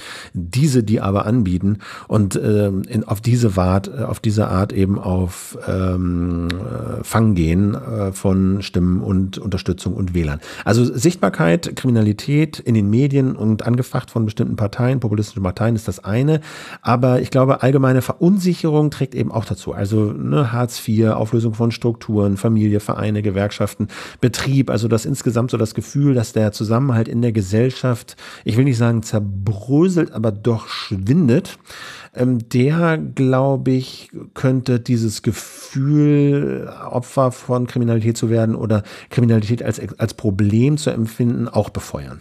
Ja, das halte ich für sehr plausibel, ne? Dass also diese soziale Unsicherheit, diese äh, diese geringere hm, Sicherheit, dass es schon irgendwie finanziell weitergehen wird, ähm, unterm Strich so das Gefühl auslöst, weniger geborgen zu sein, weniger sich seiner sozialen und gesellschaftlichen sich Position sicher zu sein ähm, und dass das dann wiederum zu mehr Angst führt, finde ich persönlich auch sehr plausibel. Leider ist das sehr schwer empirisch festzumachen, aber mh, hm, in den Vereinigten Staaten, ja, wo ja viele soziale Entwicklungen sich so ein bisschen vor Deutschland vollziehen, zeitlich so äh, keine Ahnung zehn Jahre vor uns vollziehen, da kann man das schon seit den 90er Jahren beobachten. Ne? Gerade Michael Moore hat darüber ja äh, Dokumentarfilme aus den Vereinigten Staaten, sehr ja. eindrucksvolle Filme, äh, Filme gedreht. Ne? Da kann man also seit den 90ern beobachten, wozu es eigentlich führt, wenn in einer Gesellschaft fast alle Angst vor sozialem Abstieg haben. Ne? Diese Angst vor dem sozialen Abstieg, ähm, die führt eben auch sehr häufig zur Angst vor Kriminalität äh, und dann eben in den Vereinigten Staaten mit diesen extrem liberalen Waffengesetzen auch zu einer Bewaffnung und dementsprechend immer mehr Toten durch Waffengewalt. Also das ist, äh, will ich jetzt nicht an die Wand malen, ja. das ist natürlich bei uns nicht so krass, aber die Funktionsmechanismen so, genau. genau das genau. sind die Mechanismen, die da, die da wirken. Horst Seehofer sagt, okay, Rückgang der Kriminalität, das reicht uns nicht. Wir müssen das Gefühl dieser Unsicherheit bekämpfen, hat er, glaube ich, gesagt. Genau. Ähm, aber eben nicht, sagen wir mal, anpackend an den Ursachen, die wir eben mal so versucht haben zu skizzieren, sondern er sagt vor allen Dingen, wir brauchen mehr Personal. Das finde ich total lustig, ne? Also wenn äh, meine, wir haben es ja auch oft gesagt, ja. ne? Also wir haben ja auch ja. oft gesagt, dass es in vielen Bereichen einfach an Polizisten mangelt, um bestimmte ja Verfahren wirklich durchzumachen und das durchzuermitteln äh, und um sich so, ne? Da fällt auch viel durchs Rost, weil einfach Polizeibeamte äh, nicht da sind, äh, fehlen an allen Ecken und Enden. Aber nur das zu fordern, ist eben zu wenig. Ja, das ist genau das Problem. Ne? Das ist deutlich zu wenig, wenn man, ähm, wenn man so tut, als wenn jetzt mehr Personal ähm, die Lösung des Problems wäre oder noch schlimmer mehr Überwachungsgesetze, ne? während die Polizei ganz offensichtlich wunderbar in der Lage ist, ihre Arbeit zu machen. Wie gesagt, jedes Jahr weniger Kriminalität. Da kann man sich schon die Frage stellen, ob dann wirklich neue Gesetze wirklich erforderlich sind. Aber Stichwort mehr Personal, da gibt's noch eine andere kurze Meldung zum Thema Kriminalität, ähm, die uns doch sehr zum Nachdenken gebracht hat. Ähm, wir haben ja schon in den Vereinigten einigen Wochen ausführlich gesprochen über den sogenannten Cum-Ex-Skandal. Ja, da äh, war eine Serie von Steuertricks oder eine ganze Gruppe von Steuertricks. Ist nicht so ganz klar, ob die jetzt legal oder illegal sind. Ähm, jedenfalls gibt es, äh, sagen wir mal, viele, die sagen, dass, äh, dass da auch Straftaten begangen worden sind. Jedenfalls sind europaweit viele Milliarden Euro, manche Schätzungen gehen bis hin zu 50 Milliarden Euro aus öffentlichen Kassen mit bestimmten Steuertricks abgezogen worden. Bei Aktiendeals und sowas, ne? Also vor allen Dingen in genau. Aktiengeschäften. Genau. Ähm, so, und ja. haben sich halt, haben sich halt die Händler und die, die daran beteiligt waren, halt äh, Steuern erstatten lassen, die sie nie gezahlt haben. Sie haben gesagt, haben wir gezahlt, haben wir, haben sie aber gar nicht und haben halt auf diese Art und Weise zig Milliarden aus Steuerkassen, aus öffentlichen Kassen abgezogen. So. Ja, also auf jeden Fall ein Shady, ja. wirklich sehr, sehr shady, was da gelaufen ist. Ob es wirklich strafbar ist, wie gesagt, bisschen umstritten.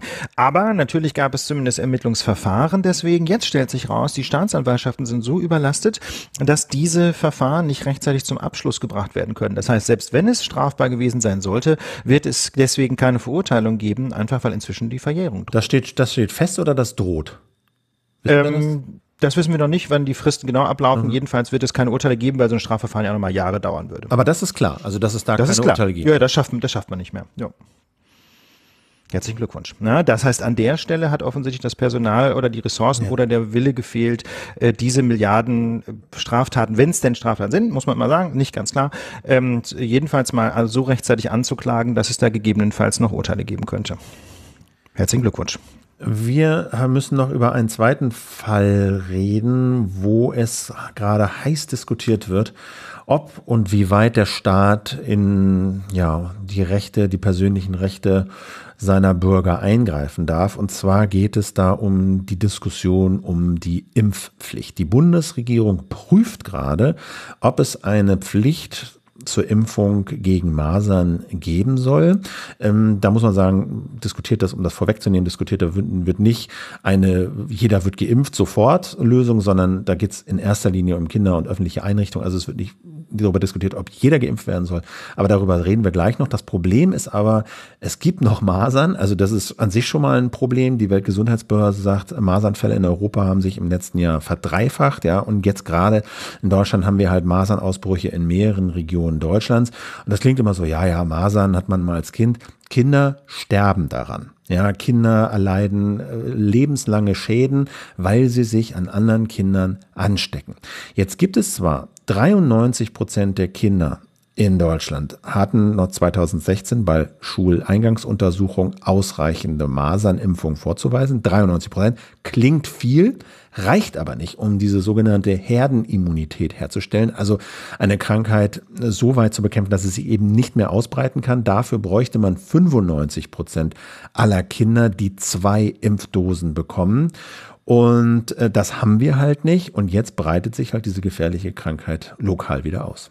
Ja, genau. Und das muss man immer wieder deutlich sagen. Philipp, du hast es angesprochen, das ist eben keine einfache Kinderkrankheit, sondern eine sehr gefährliche Krankheit. Immerhin einer von tausend erkrankten Menschen verstirbt daran. Außerdem gibt es eben die Gefahr schlimmer Spätfolgen, auch wenn die Schla äh, Krankheit scheinbar verheilt ist, scheinbar ausgeheilt ist.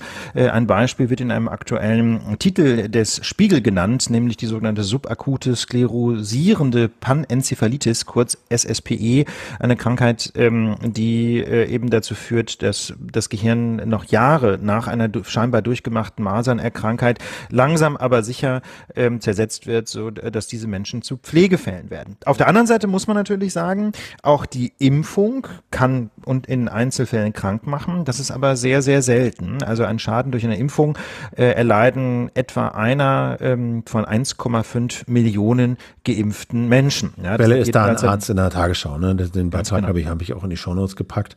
Ja. ja, aber über diese realen Risiken der Impfung äh, hinaus machen Impfgegner äh, massiv Stimmung gegen die Impfung, auch mit einer Reihe von Nachrichten, äh, die man ehrlich gesagt nur als Fake News bezeichnen kann. Äh, wir haben die einfach mal so ein bisschen zusammengetragen, weil es, glaube ich, wichtig ist für eine Diskussion über diese Frage Impfpflicht ja oder nein, dass man erstmal ähm, die Risiken tatsächlich benennt. Wie gesagt, das reale Risiko sind Impfschäden, die eben denkbar sind in einer von 1,5 Millionen Fällen von Impfungen, aber wenig plausibel ähm, sind eine ganze Reihe anderer Kritikpunkte. Zum einen der Kritikpunkt, dass die Zusatzstoffe ähm, aus der, ähm, äh, die eben diesen Impfstoffen beigemischt werden. Ja, das heißt also, das ist ja, also Impfung bedeutet, dass man mit abgeschwächten oder abgetöteten Viren quasi geimpft wird, aber die kann man ja, die müssen ja in irgendwas drin sein. Ja, da muss man irgendwie eine Flüssigkeit herstellen, die man dann injizieren kann.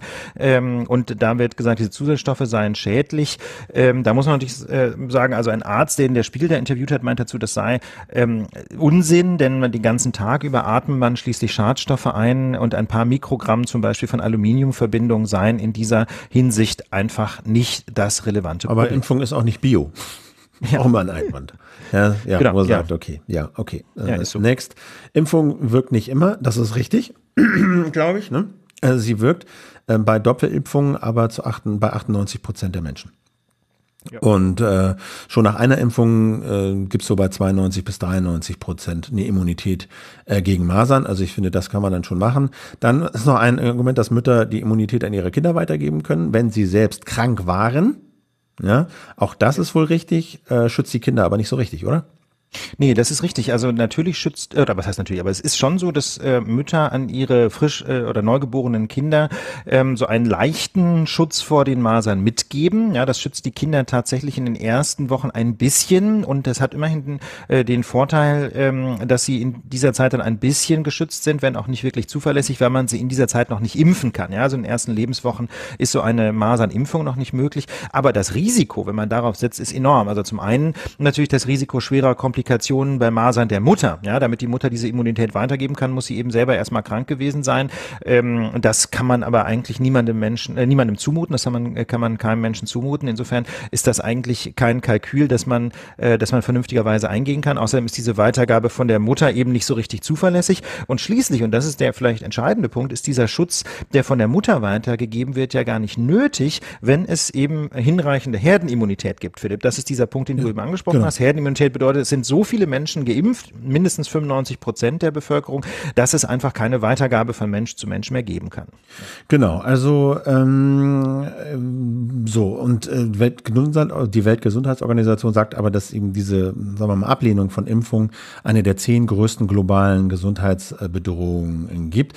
Ähm, ja. Vielleicht bevor das, wir auf das ist vielleicht die Zusammenfassung ja. des Ganzen. Ne? die Zusammenfassung des Ganzen ist ähm, ja, es gibt Risiken von Impfungen, aber äh, unter dem Strich ist es trotzdem extrem unvernünftig, aus der individuellen Perspektive oder individuellen Perspektive sich nicht impfen zu lassen, weil diese Argumente gegen Impfungen alle letztlich nicht durchgreifen. Das muss man in dieser Deutlichkeit so sagen. Eine andere Frage, die man davon trennen muss, ist natürlich die Frage, ob jetzt der Staat tatsächlich Impfungen vorschreiben kann. Ja, dass irgendwas nicht schlau ist, heißt ja noch nicht, dass man es von staatlicher Seite quasi verbieten kann. Genau, also bevor du da, vielleicht sollten wir ganz kurz sagen, bevor wir auf die juristischen Probleme gehen, einmal kurz diesen Vorschlag von Jens Spahn und Karl Lauterbach, damit wir so ein bisschen wissen, was da in der Diskussion ja. ist.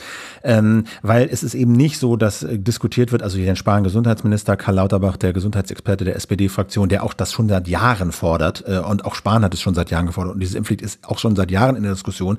Aber die ähm, haben jetzt, äh, soll man sich zusammen vor die Presse gestellt und gesagt, sie wollen natürlich, sagt Spahn, nicht alle Bundesbürger verpflichten, sich impfen zu lassen, sondern es geht so sagt der Spahn, nur um, sag mal, Impfungen für Menschen, die in so Gemeinschaftseinrichtungen gehen. Also Kita, Schule, öffentliche Gesundheitsversorgung. Ja, da kann man dann sozusagen, sagt Spahn, darüber reden, inwieweit müssen also Schüler, Schülerinnen, Kinder in Kindertagesstätten, auch, auch Betreuer, Lehrer, also alle, die in so öffentlichen Einrichtungen der Gesundheitsversorgung auch arbeiten, inwiefern müssen die geimpft sein? So, darum geht's im Kern.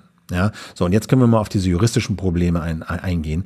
Ähm, es gibt natürlich im Grundgesetz das garantierte äh, Recht auf körperliche Unversehrtheit. Punkt. Ne? Genau, das muss man natürlich sehen. Also dieser Peaks dieser Impfung ist eine leichte Körperverletzung. Darum kommt man nicht herum. Ja, ist also ein leichter Eingriff in die körperliche Unversehrtheit. Und außerdem, haben wir schon angesprochen, kann eine Impfung, in, wenn auch in extrem seltenen Fällen, krank machen. Das heißt also, wenn der Staat ähm, zu einer Impfung verpflichtet, dann wird man das aus verfassungsrechtlicher Perspektive am Grundrecht der körperlichen Unversehrtheit messen müssen. Auf der anderen Seite, und das ist, denke ich, ein ganz wesentlicher Punkt, trifft den Staat Staat auch eine Schutzpflicht für die Gesundheit der Menschen. Das heißt also, der Staat ähm, ist nicht nur quasi aus abwehrrechtlicher Perspektive ähm, da gehindert, einfach mal so in die körperliche Integrität von Menschen einzugreifen durch eine Impfpflicht. Er hat auf der anderen Seite auch die Verpflichtung, für die Gesundheit der Menschen Vorsorge zu treffen. Ja, und der Punkt ist eben, dass man nicht alle Menschen impfen kann. Ja, also beispielsweise eben Babys bevor, äh, vor einem bestimmten Mindestalter Rentner, oder andere Menschen, Rentner, Rentner mit Immunschwächen. Ja? Sowas geht auch nicht. Also genau. du kannst nicht alle schützen und das ist ein wichtiger Punkt.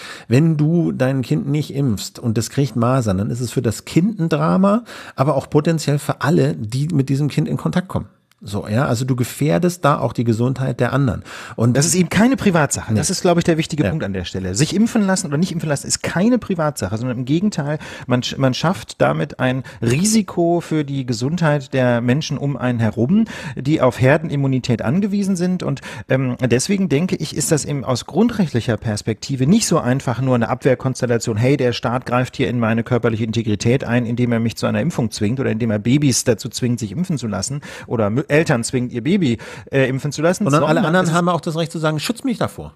Genau, das ist also ein typischer Fall einer verfassungsrechtlichen Pflichtenkollision. Ne? Du hast auf der einen Seite diese abwehrrechtliche Konstellation, greif nicht ein in die körperliche Integrität und du hast auf der anderen Seite die Verpflichtung des Staates, Vorsorge zu treffen für die in Anführungsstrichen Volksgesundheit. Und ähm, ich will da jetzt nicht abschließend sagen, was das Bundesverfassungsgericht in einer solchen Pflichtenkonstellation entscheiden würde, aber ähm, ich bin mir relativ sicher, dass da der Spielraum des Gesetzgebers groß ist. Diese Abwägungsentscheidung, ja, welche Eingriffe in die körperliche Integrität halten wir für angemessen, um äh, andererseits die Volksgesundheit in, äh, allgemein zu schützen, dass, das, äh, dass dieser Spielraum des Gesetzgebers sehr, sehr groß ist. Es gibt ähm, einen anderen Fall, ähm, der vor einigen Jahren schon mal entschieden wurde, wo das Bundesverfassungsgericht genau auf dieser Linie argumentiert hat, nämlich ähm, da geht es um das Rauchverbot in Kneipen. Ja, da hat man im Prinzip eine ähnliche Konstellation. Mhm. Auf der einen Seite das Freiheitsrecht zu rauchen und das ähm, quasi das, das betriebliche Interesse der Wirte, ihre Kneipe so zu betreiben, wie sie das eben gerade wollen. Also auf der einen Seite und auf der anderen Seite aber ähm, das staatliche Interesse an der Gesundheitsvorsorge für die Allgemeinheit, weil es halt einfach mal giftig ist in der Kneipe, sich äh, quasi als Passivraucher diesem Qualm aussetzen zu müssen. Und da hat das Bundesverfassungsgericht gesagt, der Gesetzgeber hat einen sehr weiten Spielraum. Was er nur tun muss, ist eine konsequente Regelung treffen. Das heißt also, die Regelung, die da beschlossen wird, muss in sich logisch sein, mhm. ähm, irgendwie nachvollziehbar sein, aber dann sind die Spielräume des Gesetzgebers groß. Genau. ich denke, das wird beim Impfen letztlich genauso. Genau, das haben wir auch von bei der Organspende. Ich finde es gut, dass es da eine öffentliche Debatte gibt. Ich finde gut, dass das Gegenstand der Diskussion und auch der demokratischen Entscheidung ist. Man muss aber auch sagen, es ist ja auch kein bisher völlig ungeregeltes Feld. Es gibt ja schon diesen Feld. Es gibt das Bundesinfektionsschutzgesetz, wonach der Gesundheitsminister per Rechtsverordnung eine Impfpflicht einführen kann, allerdings gebunden an diese enge Voraussetzung, wenn eine Epidemie mit klinisch schweren Verlaufsformen droht, dann geht das. Die einzige Ausnahme, die da, glaube ich, zugelassen ist, sozusagen, ähm, ja, ich, äh, der Gesundheitsminister ordnet diese äh, Impfpflicht an. Ähm, ich will mich trotzdem nicht impfen lassen. Das Einzige, was du da vorbringen kannst, sind halt gesundheitlich-medizinische Gründe. Mal, weiß ich nicht, mhm. Allergien oder irgendwelche anderen äh, Schwächen.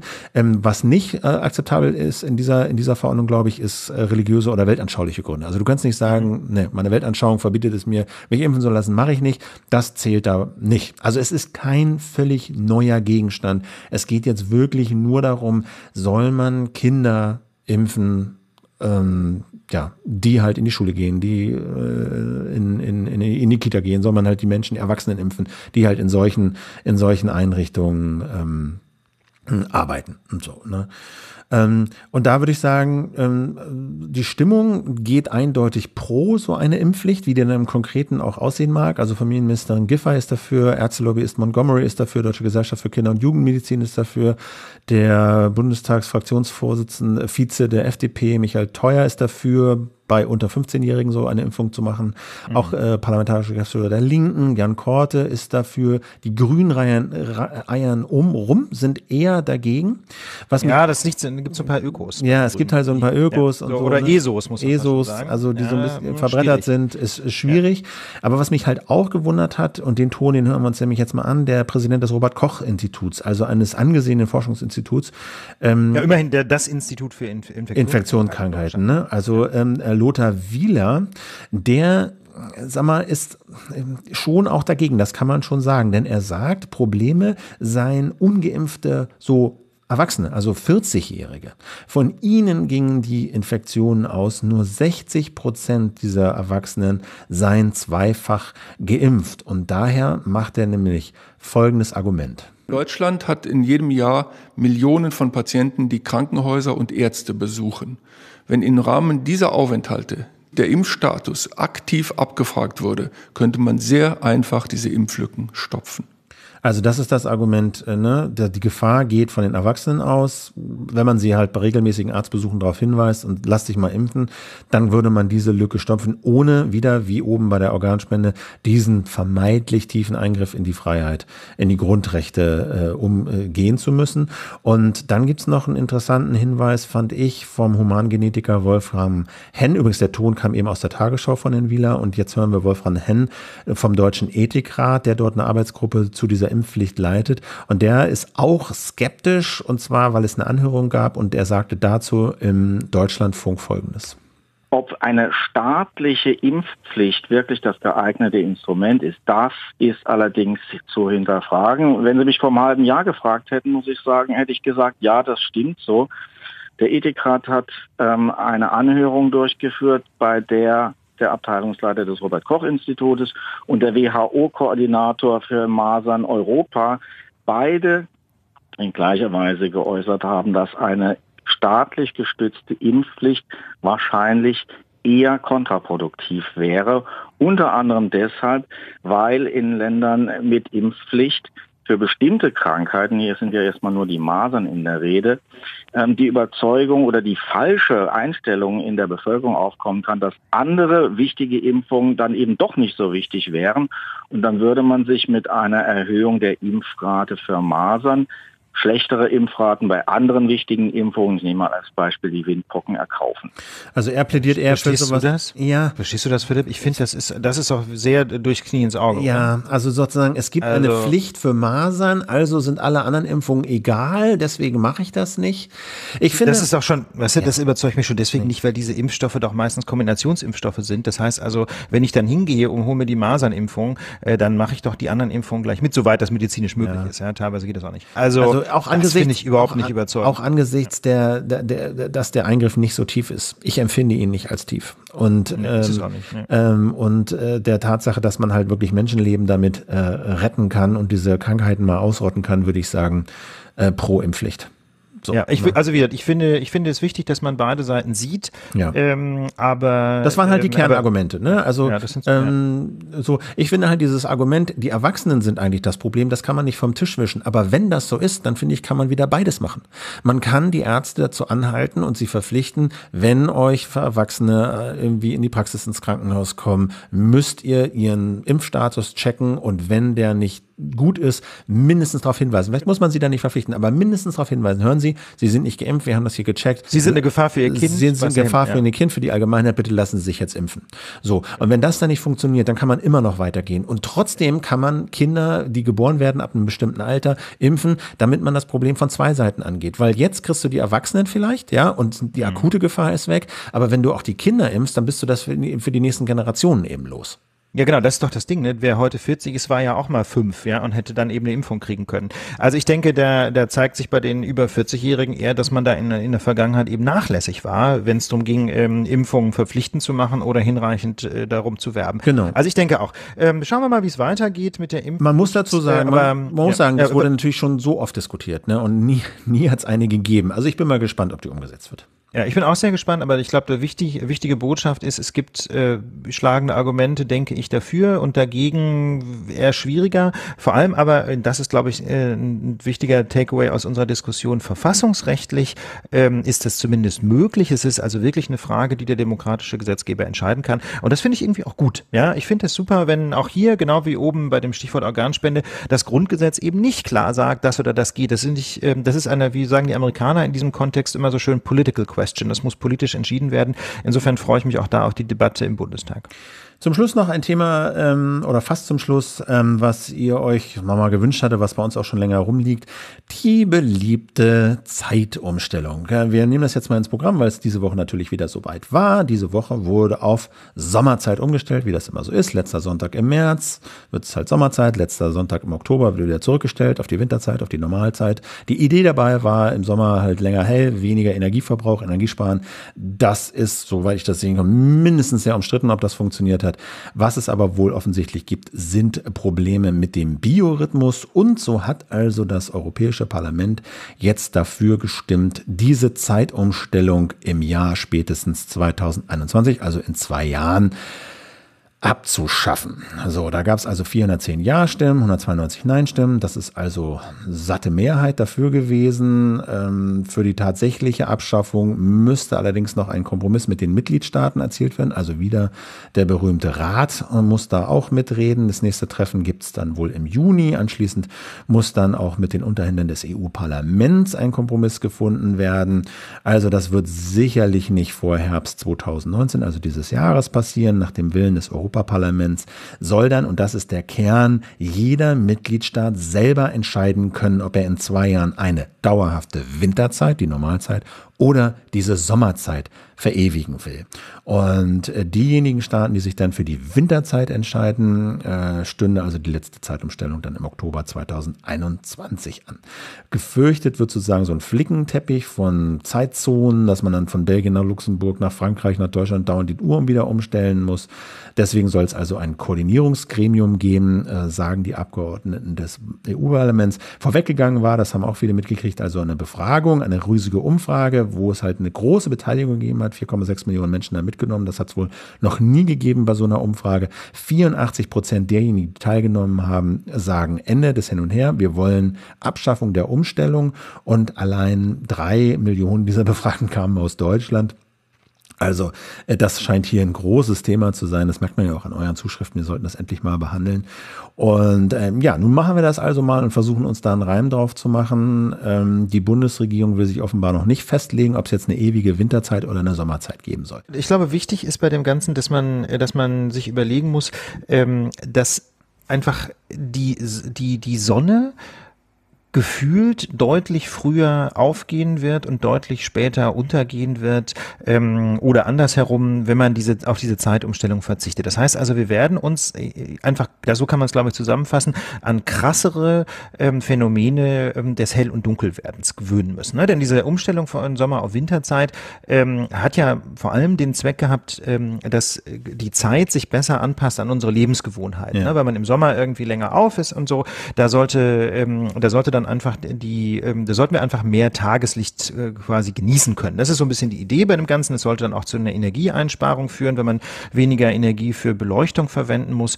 Und ähm, Philipp hat mal so ein bisschen die Szenarien durchgerechnet, wenn man auf diese Umstellung verzichtet. Ne? Genau, genau. Das, also macht, das, das macht schon sehr schön plastisch. Das macht es plastisch und das könnt ihr euch angucken. Wir haben das verlinkt. Die Zeit hat damals eine sehr schöne Grafik gemacht, an der, wo man das wirklich gut durchging. Ist auch in den Shownotes. Der Kern dieser Sache ist, ne, wie das heute ist, wisst ihr, ähm, mit Sommerzeit und Winterzeit. Ich beschränke mich jetzt mal auf die Szenarien. Wie wäre das? Was wäre der Effekt, wenn wir immer Winterzeit hätten? Also immer die sogenannte Normalzeit. Der Effekt wäre, dass wir halt auch im Juni die Winterzeit hätten und das wäre der Effekt, dass die Sonne sehr früh aufgeht. Je nachdem, Westen, Osten, Norden, es schwankt immer so um eine halbe Stunde, Pi mal Daumen, aber die würde halt so rund vier Uhr morgens würde die Sonne aufgehen. Ja, heute ist halt eine Stunde später, so um fünf. Ja, also wenn wir immer Winterzeit hätten, würde die Sonne sehr früh aufgehen und sie würde auch im Sommer früher untergehen. So je nach Standort, Viertel nach acht, Viertel nach acht so. Bis, bis kurz vor zehn. So ne? irgendwie ja. in, in der Regel. Das heißt, im Sommer würde es sehr früh hell und abends wäre die Sonne eher weg. Wenn wir jetzt immer Sommerzeit hätten, dann wäre es im Sommer, wie es halt jetzt ist. Aber im Januar würde die Sonne halt sehr, sehr spät aufgehen. Es würde sehr spät hell werden, je nach Standort so zwischen 9 Uhr, 9 Uhr 30. Klar, sie geht dann auch ein bisschen später unter. 17, 17.30 wird es dann dunkel. Aber es wäre halt sehr lange dunkel morgens. Und ja, der da Punkt, kommt man dann schlecht aus dem Quark. Das ist die morgens, Frage. Ne? Der das Punkt, warum wir da überhaupt drüber reden, ist sozusagen, also es gibt halt Biologen, Chronobiologen, ne, die, die sich halt mit dieser, Was es alles gibt. Ne, die sich mit dieser inneren inneren Uhr von uns beschäftigen, dieser biologischen Uhr. Und einer ist dieser Till Rönneberg. Und der, und das ist ja das Interessante, finde ich auch an diesem Thema für uns, intuitiv, was würdest du sagen? Sommerzeit immer, Winterzeit immer? Spontan? Also spontan würde man sagen, jedenfalls Zeitumstellung ist irgendwie nervig, will man eigentlich nicht Nee. mehr. Ne? Und im Zweifel lieber Sommerzeit. Genau. So wäre so mein Bauchgefühl. Wäre mein Bauchgefühl Sommer auch. klingt irgendwie gut. Sommer, Sommer klingt irgendwie gut. Und, und, und, und äh, Ronneberger sagt, das wäre so eine Art Croxit, also so ein chrono ne? also so eine aus Emotionen, als um Emotionen getriebene, intuitive Entscheidung für Ja. faktisch die falsche Option. Weil er sagt, dass die ewige Sommerzeit für uns schädlich wäre. Denn er sagt, die Bio maßgeblich für unsere Gesundheit, für unser Wohlbefinden ist die innere biologische Uhr und die orientiere sich mehr oder weniger auf der ganzen Welt nach dem Stand der Sonne. Also der, der, der, der, der höchste Stand der Sonne sollte so zwischen halb zwölf und halb eins erreicht sein. Dann ist die Zeit, die wir auf den Uhren sehen, ungefähr in Sync mit unserer innerlichen biologischen Uhr. Und da sagt er, das ist eben nur der Fall in der Winterzeit. In der Sommerzeit würden wir uns quasi permanent in die Ukraine versetzen. Wir hätten so einen permanenten Jacklag. Und wir würden alles zu früh machen. Wir würden zu früh aufstehen, weil, weil halt die Uhr, weil der Wecker klingelt um Aber sechs. die Sonne ist eben noch nicht oben. die ne? Sonne so, und die- na ja gut, also in der Sommerzeit wäre sie dann halt oben. Ne? Also in Aber der im Winter halt nicht. Ne? Im, im, ja. im, im, Im Winter wäre sie noch nicht oben und vor allen Dingen, das wäre nicht das Problem, wenn wir dann auch früher schlafen gingen.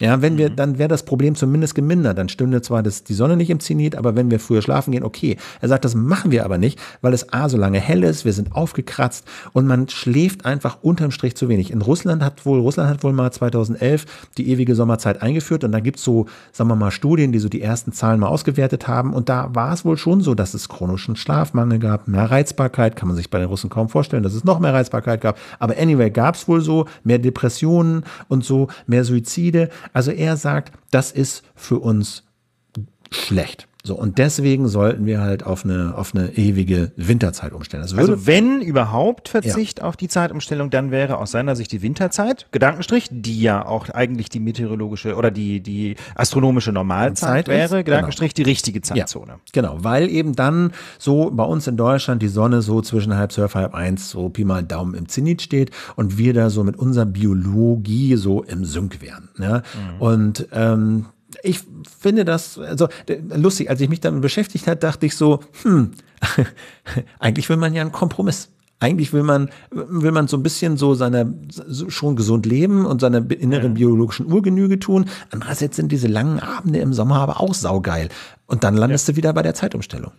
Ne? Das muss man sehen. Die Zeitumstellung ist, äh, ist eben weit über den ursprünglichen Grund für ihre Einführung hinaus, nämlich Energieeinsparung, möglicherweise doch eine ganz sinnvolle Idee, weil, lustig, sie, ne? äh, weil sie die Sonne Ja. so schön anpasst in unseren Lebens. Ja, und das war so eine, das war so ein Ergebnis von dieser kleinen Recherche, wo ich dachte, hm, vielleicht ist das doch ne? nicht so, vielleicht ist das doch nicht so schlecht. Dann hatten, dann musste, dann geht die Sonne im Winter ein bisschen früher auf und nicht erst um neun oder halb zehn. Ja, ähm, und und und, ähm, und und du hast halt im Sommer die längeren Nächte, die ja auch geil sind und so. Also Auf der vielleicht anderen Seite, Philipp, hat es doch jahrzehntelang hat's ja keine Zeitumstellung gegeben. Die in ja- 1980 ging erst los oder sowas, glaube ich. Ne? Ja, ich meine, ich meine ein bisschen früher, ich habe es nicht genau recherchiert. Ich meine eher so in 60ern, spät 70, äh, 70ern, nee, 70er. War das nicht ein, ein Effekt dieser Energiekrise Anfang der 70er? Der Ja, das, die war ja Ende. Ölkrieg war so Ende, war 78 war doch irgendwie. oder? 73 war die erste. Egal, egal. Auf, ähm, ich glaube, aber, 80 haben sie es eingeführt, bin ich mir ganz sicher. Aber klar, davor gab es das nicht. Und ein cooles, also jetzt geht's natürlich darum, wer kommt in welche Zeitzone und so. Und da haben die auch, ähm, auch die Zeit hat dann eine schöne Grafik gemacht, dass es eigentlich sich relativ klar ergibt, welche Zeitzone, welche Länder in welche Zeitzonen gehört, wenn man denn so mal diese Normalzeit zum, zum Maßstab nimmt und sagt, wo steht so die Sonne im Zenit, so am Mittag. Ähm, was ich halt eine coole revolutionäre Idee fand, einfach Zeitzonen generell abzuschaffen. Und so eine Weltzeit zu haben. Und was dann dazu führt, dass, weiß ich nicht, die Leute in Australien halt um 23 Uhr frühstücken, weil bei ihnen um 23 Uhr die Sonne aufgeht. Das war, weißt du, so das fand ich irgendwie, ist natürlich jenseits von, äh, von politischen Umsetzung, aber das fand ich mal eine coole Idee, einfach zu sagen, es gibt nur eine Zeit auf der Welt und die einen frühstücken halt um da heißt das halt Frühstück um 11, bei den anderen heißt es halt Frühstück um 23 Uhr, bei den dritten heißt es Frühstück um 3 Uhr morgens, weil halt die Sonne aufgeht. Ja. Ich habe es gerade übrigens mal nachgeguckt, wie das so historisch war. In der Tat ist die heutige Sommerzeitregelung 1980 Ja. in Kraft getreten. Es gab sie aber schon mal während des Ersten und des Zweiten Weltkriegs, interessanterweise. Ja, will ich jetzt nicht im Detail darauf eingehen, Genau. warum aber das war. würde mich aber mal gut, von ja. euch interessieren. Also das war so ein ganz interessanter Ding, wo ich dachte, so vielleicht ist das, jetzt ist sie beschlossen, ne? Jetzt, okay, jetzt muss Ja. ich jetzt sie beschlossen. Und da würde ich doch dafür tendieren, tatsächlich auf die ewige Winterzeit zu gehen. Macht wahrscheinlich Sinn. Ne? Das ist gesünder für uns. Ich glaube, wenn die, wenn die, wenn die Biologen das uns sagen, Da sollte man wirklich, dann denke ich, auch ähm, diesem Argument große Bedeutung beimessen. Ne? Wenn die da, aber möglicherweise ist auch dieser Brexit-Vergleich gar nicht so falsch, ne? dass es so eine emotionale Entscheidung war, zu sagen, wir lassen das mit der Zeitumstellung, die aber biologisch möglicherweise gar nicht so wahnsinnig sind. er sagt also Rönneberg, Auch die, Punkt, diese ja. Chronobiologen sagen, Zeitumstellung weg ist super, nur dann eben auf ewige Winterzeit. Aber okay, also. Weil uns die Sommerzeit sozusagen aus dem Takt bringt, weil wir zu früh aufstehen, Ja. zu wenig schlafen und so. Deswegen weg damit, aber dann ewige Winterzeit. Ich glaube, das ist so der Punkt, den wir hier an dieser Stelle dazu mal machen wollten. Genau, so ein paar, so ein bisschen Input, ein paar Hintergründe, so machen wir das gern. Letzter Punkt für diese Folge. Ähm, wir schauen noch ganz kurz äh, auf ein Landesthema, weil es also eine schöne Überleitung ist, nämlich auf den SPD-Landesparteitag in Berlin. Äh, wir haben ja eben gerade über die Kriminalstatistik berichtet und darüber, dass die Kriminalität in Deutschland sich auf einem erfreulich niedrigen Niveau bewegt.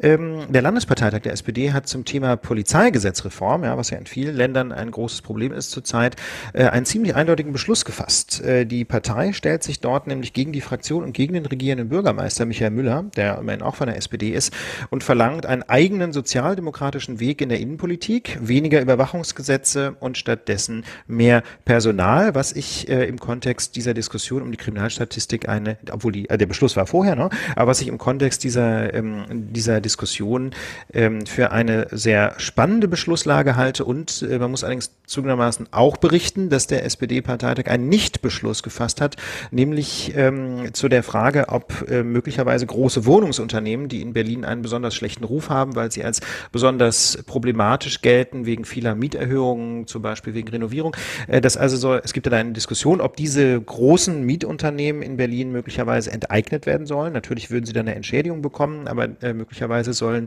da äh, Tausende von Wohnungen in Landeseigentum überführt werden oder in das Eigentum einer Landestochter. Dazu konnte sich die SPD noch nicht entscheiden, was sie davon halten soll. Ähm, und das, obwohl eine Volksabstimmung droht zu diesem Thema. Es werden da schon Unterschriften gesammelt. Ja, seit, seit dieser Woche. wird, ne? Seit dieser Woche. Genau, in dieser Woche, genau, dieser Woche beginnt die Unterschriften oder begann den- die Unterschriftensammlung ne, Ja. für eine Volksentsch für eine Volksabstimmung oder Vol äh, zum Thema Volksentscheid. Enteignung. Ja. Genau, es ist ja so ein zweistufiges Ding. Ne? Du musst erst äh, genug Unterschriften haben und dann im, im, in einem zweiten Schritt, nachdem sich das Parlament dadurch damit beschäftigt hat, gibt's dann vielleicht eine, eine, eine, einen Volksentscheid darüber, eine Abstimmung. Genau, ne, aber das in, so, in diesem Kontext finde ich das ausgesprochen spannend, dass die SPD sich da nicht zu einer Entscheidung durchringen konnte. Eigentlich würde man ja denken, sozialdemokratische Politik na, spricht doch dafür, die Mieten möglichst zu senken. Ähm, deswegen hätte man ja eigentlich erwartet, dass die SPD sich hinter diese Initiative stellt, ähm, große Wohnungsunternehmen jedenfalls dann zu enteignen, wenn sie sich als besonderes Problem äh, bei der Entwicklung der Mietpreise in Berlin darstellen. Das ähm, aber ist in, auf diesem Parteitag noch nicht gelungen und das Thema ist jetzt für ein halbes Jahr vertagt worden. Und das ist deswegen so interessant, weil Philipp ein spannendes Interview geführt hat ähm, vor ein paar Tagen, das sich genau mit dieser Frage beschäftigt, was für eine Vision für eine neue Gesellschaft könnte denn möglicherweise auf Wählerinnen und Wähler attraktiv wirken. Genau, das fand ich äh, vielleicht zum Schluss dieser kurze Programmhinweis. Ich habe mich im, im Medienradio unterhalten mit Heinz Bude. Das ist, finde ich, so einer der interessantesten Soziologen, über die ich so in der letzten Zeit gestolpert bin. Er ist äh, Professor an der Uni Kassel für Makrosoziologie. Und ja, das, äh, wie gesagt, könnt ihr abonnieren, einfach Medienradio in eure Podcast-App eintippen und abonnieren oder ihr geht auf den Link, den wir in die Shownotes packen, direkt zu diesem Interview. Jedenfalls, ähm, da haben wir, er hat ein Buch geschrieben, er hat viele Bücher geschrieben, aber jetzt hat er eins geschrieben über Solidarität. Und da hatte ich ihn mal eingeladen und wir haben gesprochen und so. Und das, äh, was ich für die Lage da relevant fand, war, dass er argumentiert hat, ja, es gibt halt ein großes Loch in der Mitte der Gesellschaft. Alle haben das Gefühl, haben wir auch gesagt, es zerfällt so auseinander, die Bindungen fehlen und der, dem politischen, und die rechten Parteien springen halt so rein und besetzen dieses Thema Solidarität, aber mit einem sehr exklusiven Begriff von Solidarität, nämlich eine Solidarität, die halt nur für ganz bestimmte Leute gilt, die so aussehen wie du und ich und für andere eben nicht. Und er sagte aber, die Linke, so SPD, Linke, aber vor allen Dingen auch die SPD, könnte halt dieses Thema besetzen. Und ich fand, da war eine Menge Charme dran, nämlich diese Vision einer mindest also, also einer, einer neuen Art von Solidarität, jenseits des Neoliberalismus, wo sozusagen das Individuum, das starke Individuum im Mittelpunkt stand und da alle dachten, wenn das Individuum noch stark genug ist, dann werden auch alle schon davon profitieren. Das hat sich nicht so richtig ähm, äh, belastbar als belastbar herausgestellt, aber eben so eine staatlich dirigistische Solidarität wie in der DDR irgendwie auch nicht. Und trotzdem da eine neue zeitgemäße Vision der Solidarität zu entwickeln, das ähm, fand ich sehr charmant und ähm, wir hören uns mal einen kurzen O-Ton von ihm dazu an. Ich habe jetzt sehr viel mit Leuten zu tun, die mich fragen, was kann man gegen rechts machen. Ja, ne? ja. Und dann gibt es diese Idee, wir müssen gegen rechts aufstehen und wir müssen kämpfen und so weiter. Das ist alles vielleicht auch alles gut begründet von den Einzelnen. Ich glaube, die eigentliche Anstrengung ist doch, gibt es Vorstellungen, die das rechte Denken von innen aufbrechen können. Und ich glaube, Solidarität wäre so ein Thema, zu sagen, wir müssen irgendwie für diese Art und Weise füreinander einstehen, jetzt mal gemeinsam nachdenken, neu. Und ich wette, drei Viertel von den Kollegen, die bei der, bei der IG Metall zur AfD tendieren, würden sagen, ja, da möchte ich gerne mitreden über diese Frage. Das ist ein Punkt, da möchte ich jetzt, da sollten wir wirklich mal drüber reden. Verstehen Sie, weil es brach liegt, das Thema, wird es von rechts abgegriffen, wird als exklusive Solidarität zum Teil bösartig, das muss man schon sagen, böse interpretiert. Und, und viele von denen, die sagen, ach, hier ist doch alles irgendwie nicht in Ordnung und mir geht zwar einigermaßen gut, aber im Ganzen ist doch alles Mist hier, dass die im Grunde durch so ein Solidaritätsthema zumindest bereit wären, mitzudenken, also wieder hineinkommen in eine gemeinsame Zugehörigkeitsdebatte über die Frage, wie wir das jetzt eigentlich irgendwie hier schaukeln wollen, nachdem der Neoliberalismus vorbei ist. Und die Gretchenfrage ist dann nicht, wie hältst du es mit Migranten oder mit dem Islam, sondern die Gretchenfrage ist, wie hältst du es mit der Solidarität? So ist es, so ist es, so ist es. Ja, das war Heinz Bude, äh, Soziologe im Medienradio. Das komplette Gespräch könnt ihr euch, wie gesagt, anhören im Medienradio. Ulf, ich würde sagen, die Lage der Nation ist abschließend erörtert. Wir wünschen euch ein schönes Wochenende. Bleibt uns gewogen, stiftet uns ein paar Sternchen auf iTunes, wenn euch die Lage gefallen hat. Und in diesem Sinne ein schönes Wochenende und bis bald. Schönes Wochenende, alles Gute. Tschüss. Tschüss.